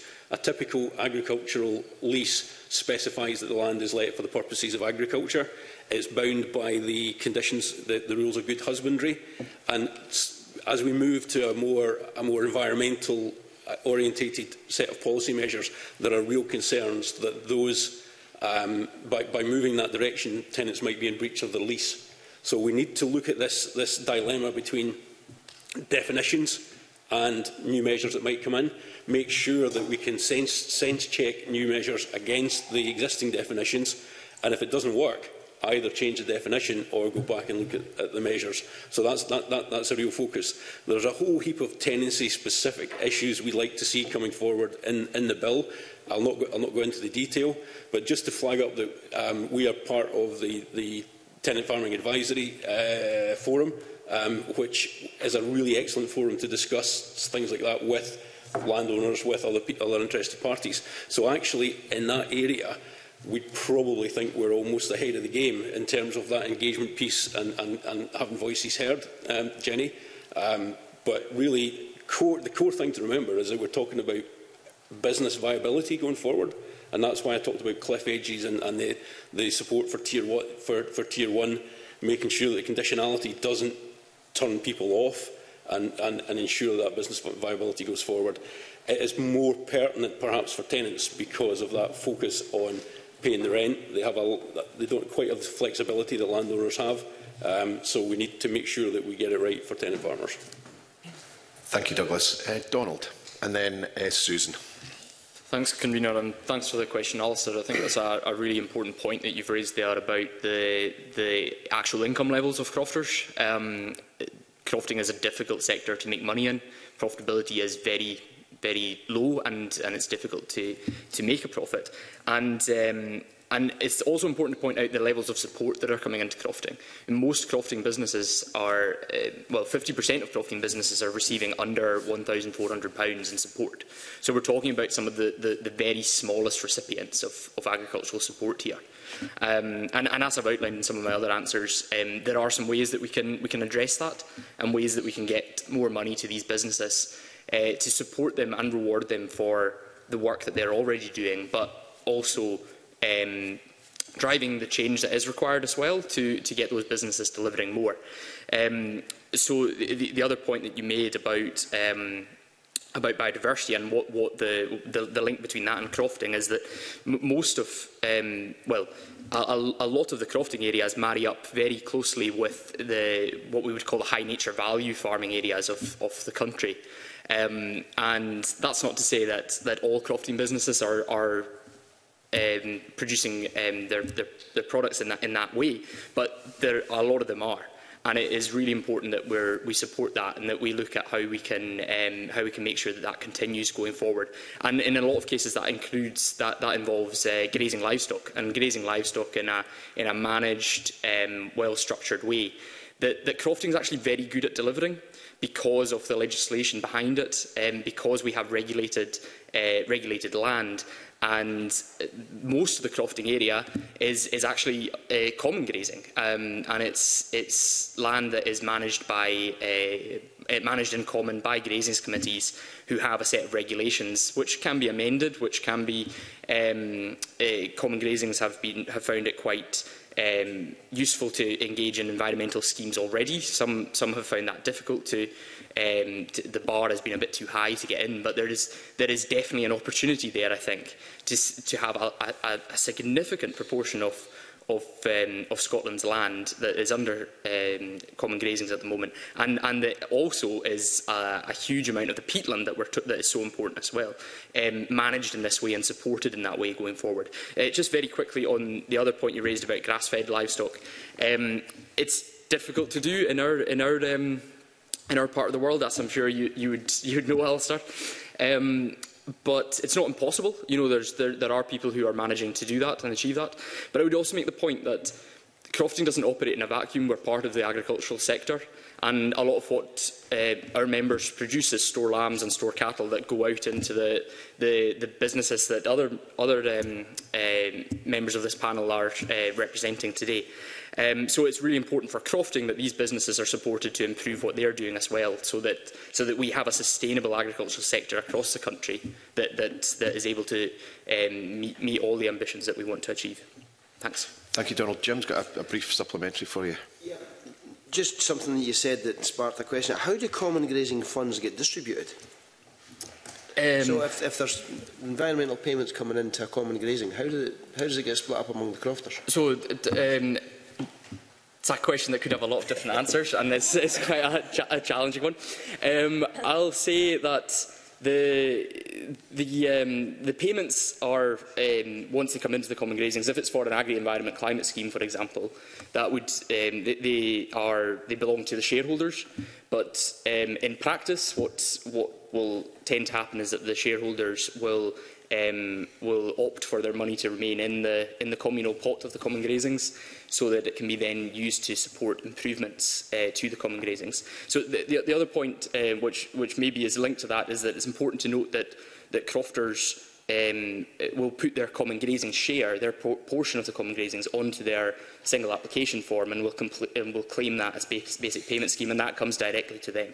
So, it's, so they do get direct support in relation to yeah. the, their share of the common grazings, but this is the environmental schemes that your EECs at the moment, but it, things that would fall under Tier 3 going forward um, would, would still come into this communal pot. And that's really important to, so that we um, we're able to keep the, the permanent improvements on the common grazings in a, in a good state and we're able to manage them. So having a good fank and yeah. having good fencing and all these kind of things that are so important for the communal, communal aspects of it. Hope that answers the question. Yeah, no, that's yeah th thank you, Donald. Uh, we've now got Susan and then Tara.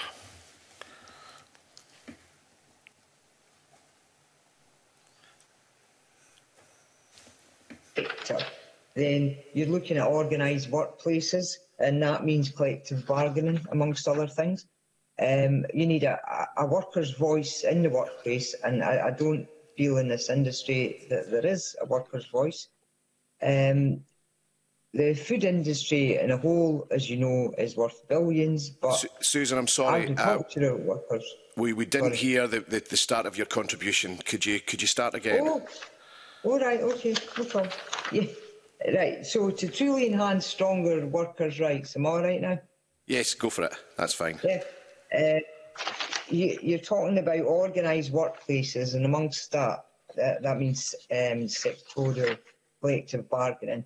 Um, a, a, stronger workers' voice in the workplace. The industry that we're talking about today is worth billions of pounds, but agricultural workers are amongst the lowest paid. Now, employers in this sector continually complain about labour shortages, but at the same time, they resist any pay increases beyond the absolute minimum. And, and for example, just the other day, yesterday, I think, ASDA and Tesco have announced an increase in their rates. So why would you choose to work on a farm which is difficult manual work long hours when you can get more money in a supermarket. Um, and health and safety is we need obviously for safer for workers, um, and that that would form part of a, a, a collective bargain. And I'll just refer back to Caroline Robinson's report, which I mean I would I'd hope you'd have a read of it. It was it was uh, done in conjunction with Migrants Forum, and I mean, workers are reporting that they're being put in unsafe housing in caravan in caravans. They're living in degrading accommodation. Um, they are working under what's called a piece rate system, which I'm sure you'll understand what that is. And because of, of that, if they don't meet the, the rates for the piece rate targets, they then risk losing their, their jobs. Now, the Scottish Government doesn't regulate the calculation of piece rates. All it does is set a minimum floor for wages through the Agriculture Wages Board. Um, and again, many workers are on zero-hour contracts, despite the Scottish Government stating that this shouldn't be the case. That's me. Thank you. Thank you, Susan. Very, very briefly, Rachel. Susan, um, I just wondered how many um, UNITE members work in farming or are farmers?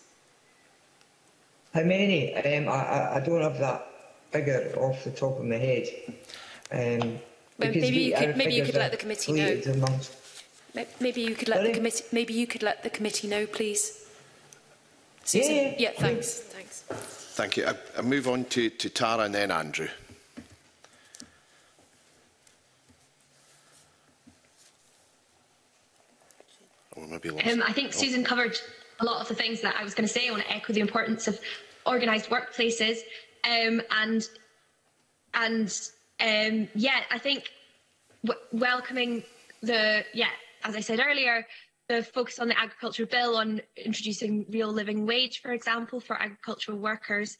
Um, but I think, and I think in terms of the conditionality aspect, we would advocate for social conditionality on all payments, so you wouldn't receive any money under the agriculture bill unless your workers have a certain level of, of rights, and which includes um, an end to zero hours contracts and a real living wage.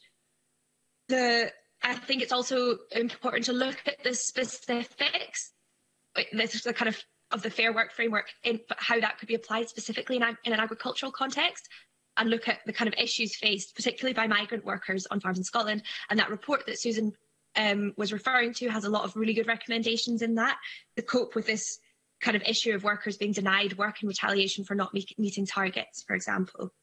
Um, there also needs to be a system for, for communicating to workers what their rights are um, and how they can raise this with enforcement agencies example, if they're not um, working in the conditions that they should be working in. at the moment that's all very unclear, and that that kind of level of social conditionality should be included in the agriculture bill as it is included to now be included within the the EU agricultural policy. I also think it's really important that we're encouraging more employment in rural areas, and these are good jobs. And one of the ways that we can do this is by supporting for example, the hort horticulture, small scale horticulture provides, as well as providing a lot of food for the area of land, it also provides a lot of jobs for the area. It can be, you know, quite um, like good, meaningful jobs that support better well-being. Um, and that's by supporting this, these, that sector, for example, the small-scale horticulture sector, other forms of small-scale agriculture, we in turn support employment and with a level of conditionality on that funding, which means that the employment is um, fair and the, the and upholds the workers' rights standards. Thank you, Tara. We, Thank you. We've got three uh, speakers with Andrew, Gareth, and then Denise, and a supplement from Jim Fairley. Um, very briefly and specifically in, re in reference to um, how crofters are supported adequately going forward. Um, Scottish Environment Link um, it recognises that it's a critical issue. We, we need to ensure that the farming activity continues in the uh, north and west and the Crofting counties and that the, the, the, the farmers and crofters are adequately uh, rewarded for what they deliver. Elfast doesn't do it uh, because um, it's, it's a, a, a sort of it's a policy that is needing in radical reform and replacement. And one of the issues there is that LFAS uh, suffers from the same distributional problems as direct payments and that the highest payments go to um, the biggest uh, recipients. And so the distribution, to, so the ability to help farmers and crofters is limited. And the rationale for LFAS, all about disadvantage, is not necessarily focused on the beneficial things that that activity delivers. And so um, Scottish Environment Link would really encourage and would like to see the Scottish Government explore the concept of high nature value farming systems and how those systems can be supported proactively. So you, you recognise the system that the, the farming is delivering high nature value and we're going to reward you for that. Arath and then Denise. Yeah, thank you. Um, just really quickly to say, um, for, in, in my world, you know, one of the key things is, is animal health and welfare management. If you do that right, you improve um, the animal's response to uh, greenhouse gas emissions. If you control endemic disease, you improve productivity, you reduce uh, replacement rates, things like that.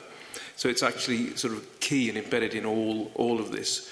Um, uh, so it was really just to reiterate that that's actually part of the equation, and, and we'd like to you know, continue to be involved in that. Grass-fed, yes, I, th I think that the issue there is, is it's, um, it's appropriate in some places, not all. So I, I think the, the response to that is it, it depends on the individual farm situation, uh, really, and, and that's again going back to developing the, you know, the, the health plan, the farm plan. Thank you. And Denise. Thank you very much, Chair. I wonder if I could pick up on a point that uh, Donald made, and also to follow on from what Gareth has just said, and that forage-based livestock systems, and this is information to the committee, forage-based livestock systems are the most profitable, and also they have the least emissions, and they are low cost.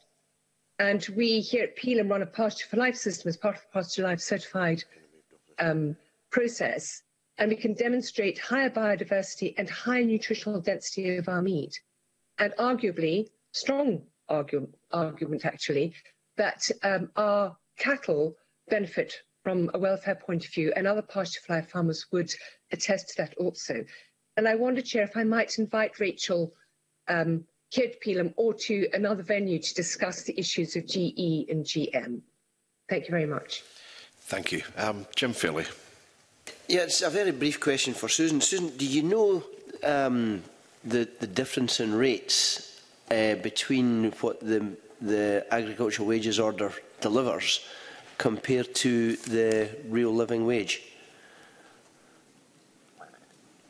Sorry, not off the top of my head, but I can find out. Okay, thank you. Okay. That, that, that uh, completes that section. We're now going to, uh, very conscious of time, with uh, with your approval, stakeholders, but we may run over the 11 o'clock uh, somewhat. Um, and if you're okay with that, we'll, we'll, we'll see how it goes. Um, Ariane Burgess.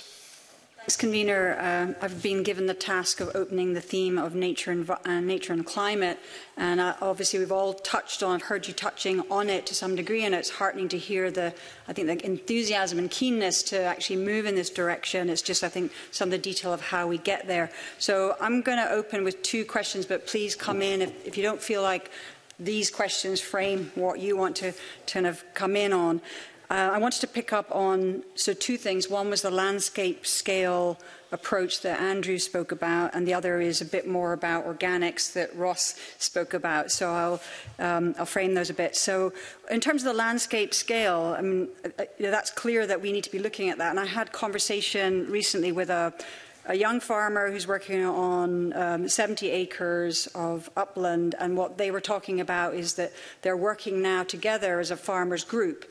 Um, so lots of farmers around their farm coming together and trying to look at this.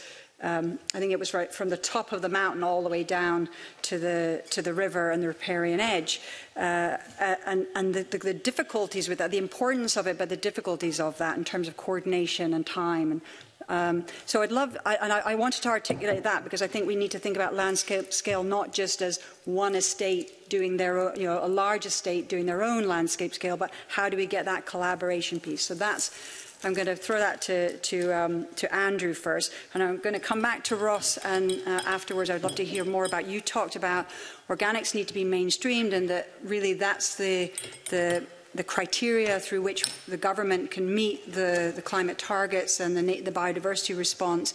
But I see that there's different. So Link is calling for a target of 10%.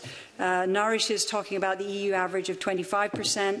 And so I'd like to um, see, you know, Is there a likelihood that we can reach that? I know we can't do that in this session, and that's why we've only got the small doubling of organics, because there's not enough in the pipeline, so to speak. But if we were looking to the next session, what do we need to be doing now to get our, with farms and farmers to get ourselves to that place where we're really able to say in session seven, we're going to have a much bigger commitment to organics. So maybe we start with landscape scale and we can come to organics, and I welcome anyone else to come in and we may go quite a bit over the time, but please keep your answers succinct. Uh, uh, more succinct than the question, please. Thank you. Andrew.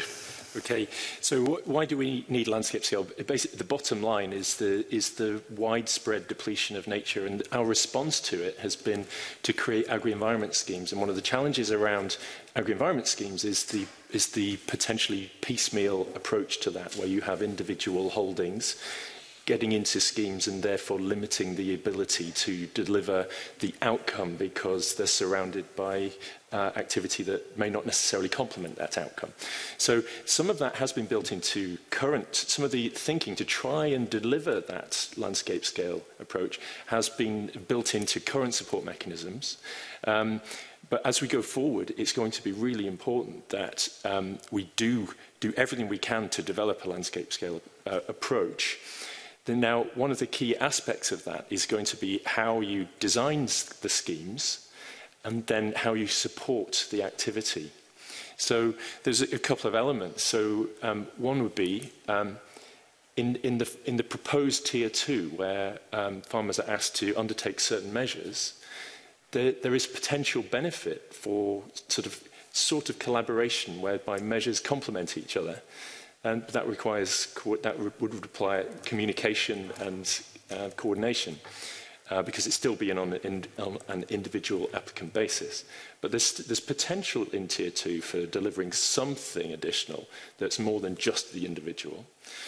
When you get into Tier 3, into whatever replaces the Agri-Environment Climate Scheme, clearly there is an important place for it there uh, for being able to deliver coordinated action.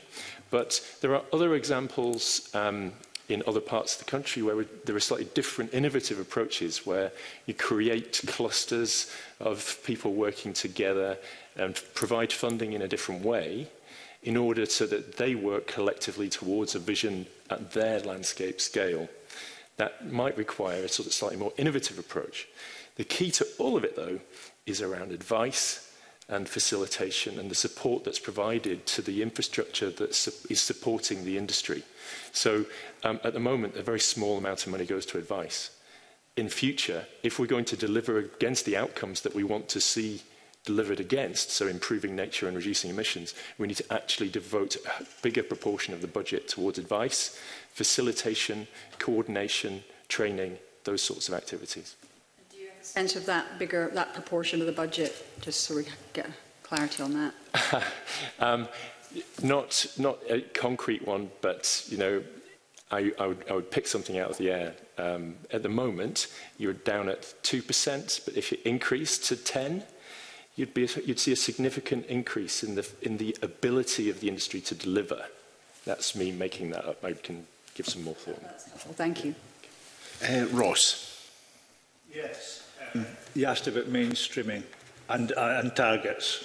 Um, as I said before, the, the idea of land targets, it's less about the actual target, it's about the ambition and showing an ambition. And, and we always contrast ourselves with Europe. They show the ambition to grow it by 25% by 2030. And whether that's a good benchmark or not, it shows an ambition. And we would like to see the Scottish Government be as ambitious as that for the organic sector because we're not... We're, we're a very small part of farming still. And I think we've got a huge amount to offer.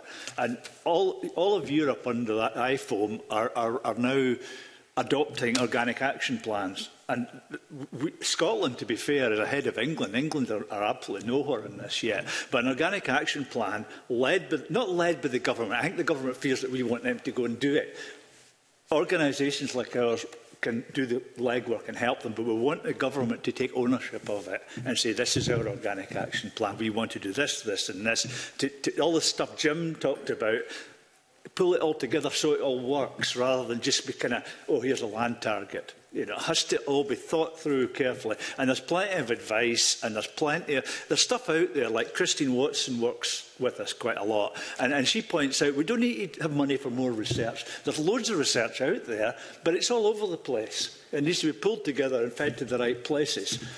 Uh, and, and that would, these sort of things, and just, just talking about it more, bringing it into the mainstream, recognising it ticks a lot of the environmental boxes, it's not a panacea, There are all sorts of issues with people will talk about organic farming, but it is a standard to be adhered to and it brings results.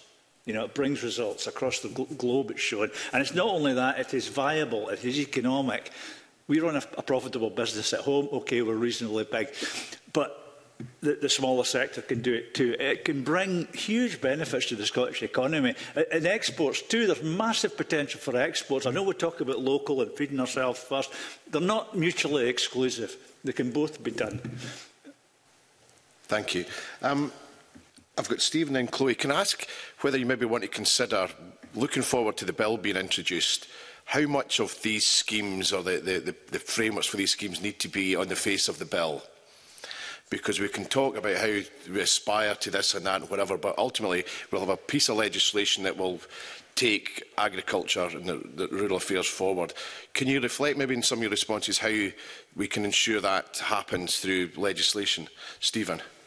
Um, dealing with that first point quickly, the, the more the better in terms of face the bill. I think a, a framework bill will create more of that frustration in the industry, more of that vacuum of information, and, and will delay things further. So the more detail we can have in there, which allows people to plan and allows people to, to negotiate around that, would be beneficial. Um, just coming back to Ariane Burgess's point on landscape scale, I think it's um, Andrew mentioned a lot of the points I was going to make around farmer clusters and cooperation. Um, before I worked for Scottish Land Estates, I spent eight years in uh, working with rural cooperatives in a development role, and, and, and the short answer is it's really hard because um, you're trying to bring together different businesses with different outcomes and trying to, to mould that together. But I think a lot of it comes down to land sharing rather than land sparing. So what can we do with a specific piece of land, not specifically for one purpose, but how do we meld those purposes together? And on that landscape scale, you can create a lot of those benefits. Um, so it's building that kind of integration, but you are trying to bring businesses together who have got outcomes and there's personalities and there's all these different things in there. But it can be done, but it's, it's really difficult. One thing I would say is around previous group schemes around agri-environment schemes, they've been really difficult to access because a lot of the binary scoring methods that have been there. So accessing them as a group has been pretty difficult and pretty soul-destroying, um, to be honest. But th there are ways of doing it. It's bringing like-minded people together, and I think it's, it's tying up with the points that were made about facilitation and, and advice there. We've got uh, Wildlife Estate Scotland, which is a, a certification um, that we have, and they've brought together a cluster in the Pentlands, which are working together to deliver uh, real benefits there. So, so there are examples of it happening. Um, Just touching on another point around organics, um, I, th I think it's really heartening to see Scottish Government lifting the cap on the amount of land that can go into organic conversion. I think that's a great help for the ambition of the sector and will hopefully help to drive more, more land into that style of management. Thank you, Stephen. Uh, Chloe and then Pete. Thank you. Um, it's been really pleasing to hear talk of the importance of peer-to-peer peer to peer learning this morning. Um, the, the current Farm Advisory Service and programme uh, and programme in Scotland delivers advice across Scotland on a range of things, including we've got 40 peer-to-peer -peer learning groups established, and this was a pilot. We, we see the potential to do more. Also pleased to hear um, the, the, I think, agreement that uh, spend on advisory services is good value. Uh, I think on the organic point, it's important to... I, I observe a continuum Uh, we've talked here about organic and non-organic practices. Uh, we see a, a continuum of organic practices. Not everybody is ready to go the whole, the whole way to the end and secure the paperwork and um, market as organic. Some of them do nearly the whole journey. They maybe stop short because of the challenges that we've already discussed about markets. But I think it's really important that we recognise going forward the things that the majority of farmers are or could be doing, which would be adopting organic pr practices on big scales, if, if, if we're talking about significant numbers of farmers, um, as well as those who want to um, see the, the, the benefits of being 100% organic and being certified. Thank you. Um, Pete and then Gareth. So organics is a route to market, whether there's premium or not at a particular point in time. In general, farmers can get a better price for their products. It's important to recognise Germany set a target of 30% organic land by 2030. Ireland's already doubled its area of organic land since going into this, developed its organic action plan two years ago. And Ireland's very similar to Scotland. It was a similar level of low, low productivity. So I think this question about whether it should be on the face of the bill, I think what we'd say is the key principles on the face of the bill have to reflect our international commitments. And we've just signed up to the Kunming Montreal Protocol, which calls for a massive reduction in nitrogen use and waste and in damage caused by pesticides. Organics ticks those boxes. So whether we put organics on the face of the bill or whether we put the Kunming Montreal Protocol on the face of the bill, either on the Agriculture Bill or the Natural Environment Bill, organics is a way of delivering on those policy objectives for nature and climate. Thank you, Pete. Gareth. Uh, again, on the on the face of the bill, um, we would recognise that, that uh, there are, the bill establishes standards for animal health and welfare um, and biosecurity. I, I think it's really important that those are strengthened and, and, and made clear. That at the moment there's a little lack of, uh, lack of data. Um, there's also powers to collect and share livestock health well, welfare and biosecurity data. And I heard on the um, radio this morning um, William Hague and um, um, the, the former Labour uh, Prime Minister um, talking about the importance of data and getting ahead. Um, I really can't stress the importance of data, really, in all of this. Um, so framing that more, I think, would be really, really helpful and, um, and understanding that. Um, and as I say, we're, we're very, very willing to get involved, and if, if there's uh, things we can do in, on ARIOB, I think um, we'd be uh, welcome to engage in that as well. Um, now got Tara and then Ian. Um, I know this is a yeah a piece of framework legislation, but I think I'd like to echo that the more detail we can see in it, the better. That'd be the better for for um, farmers, but also in terms of driving ambition. Having some targets on the face of this bill would be really beneficial in terms of what those actual targets end up being. That feels like a, a different conversation, but uh, I echo the need for kind of more ambition around organics. Um, and in terms of having targets on this bill, I think it's worth noting that the, ag the agricultural sector is already constrained by targets on other bills, for example, from the Climate Change Act. Um, and it would be really important that the agriculture bill itself has targets included in it, which will help us to meet the targets that we're that we're al already um, on track for with other bills, so that yeah, having some, some targets around these kind of things that are pushing kind of for ambition and give us a metric to measure the transition by is really important. Thank you. Thank you, Tara. Uh, Ian and then Andrew. Um, on in terms of detail for the bill, more detail is welcome, but at the same time, we would be keen to ensure that that is balanced um, against ensuring that that the framework has sufficient flexibility for unseen circumstances going forward. And obviously, you know, we highlighted the um, Ukraine situation uh, and how that has massively changed how, how people think about food and domestic agriculture. Just coming back to the landscape scale issue and how that could be delivered, I think um, there probably is a case for um, sharing and learning um, of best practice um, between the jurisdictions within the UK. So obviously England had gone down the route of looking at landscape scale um, schemes and I think, as I understand it, they've had to sort of roll back on some of that and basically put it into existing countryside stewardship. So there's probably a bit of a, an opportunity for us to, to learn and share where things work or don't work between different parts of the UK on that one. Um, as you would probably imagine, um, AIC, um, our view is that yes, there is a place for organics, um, but it is by no means uh, the only way in which um, agriculture can reduce its emissions and different things work for different businesses and obviously these things have to be market-led as well. Um, from our point of view, there's lots of easy wins that can be incentivised within policy. Um, we've talked about advice, that is very important. There needs to be a greater diversity of, of advice providers and we need to ensure that there is some sort of approved provider scheme so that farmers can buy an advice from a range of different sources. They may well get advice on um, the sort of big picture from SRUC, but that needs to be complemented with specialist technical advice to give them the tools to, to make the changes, whether that's soil testing analysis or looking at climate-friendly rationing through um, precision livestock nutrition. So there's lots of things there that we need to consider as well. And finally, on the piece about grass-fed livestock, It works for some systems, but also we need to recognise that not all, for example, cereals that are grown in Scotland um, meet the spec for human consumption or malting, and therefore there is a natural market for them um, to be fed to livestock um, to help fatten, um, for example, beef cattle. So that's all from me, Chair. Thank you, Ian. And Andrew. Um, just on the point to do with the, what's on the face of the bill, there, there's this tension around the flexibility. So the government's intention is, is to frame, give themselves the powers um, to deliver future schemes, but don't put it on the, on the face of the bill, because if you put it on the face of the bill, it makes it inflexible. You have to change the primary legislation. The, the, there's a halfway house, which is put in the bill requirements that the government has to do certain things And so you could, um, it would be interesting to explore whether or not the government should be required to have a strategic plan. At the moment, we have a vague vision which we broadly support because it's a move in the right direction, but it's still vague. But if you have a vague vision and lots of flexibility, you can virtually justify any policy. But if you have to write a strategic plan, you have to decide what your priorities are and what policy tools will deliver against those priorities.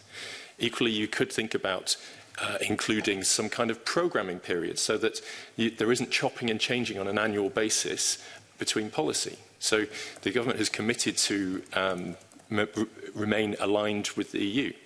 That sort of way of working has been embedded into the sort of the programming periods of the cap. It, was, it be a way of at least, you know, a five-year period may be a way of giving farmers some certainty about, you know, what's happening for the next few years. So able to plan and so on. Thank you, Andrew. And Denise. Of the face of the bill, I think that really the, the big issue now is giving our industry confidence. And okay, the ambition of the bill is moving in the right direction away from what at times looked like a wish list. We need more communication. Every farm holding needs to have put through its letterbox a document which advises on the the, the, the, direction of travel in relation to this bill to give our industry confidence. And, and also what I might add is that we're organic farmers, um, pasture for life farmers, and it works for us, it works for a wide range of, of, of um, farming systems. And certainly we need to be able to identify and target how much we can do organically. And our view is that we can do a lot. And sort of land sharing, landscape approach is one way of doing it. Okay, thank you. Uh, Douglas. Yeah, I just come on in terms of the face of the bill. I agree with those that think the more detail the better, but we just have to balance that um, with the engagement that I think is necessary to get rigour in there and the timescales that we have. Um, I, you know, I, I hate to say it, but it is better to get this right than to get it, to, to, to get ourselves hamstrung. So, you know, while I, I echo the calls for clarity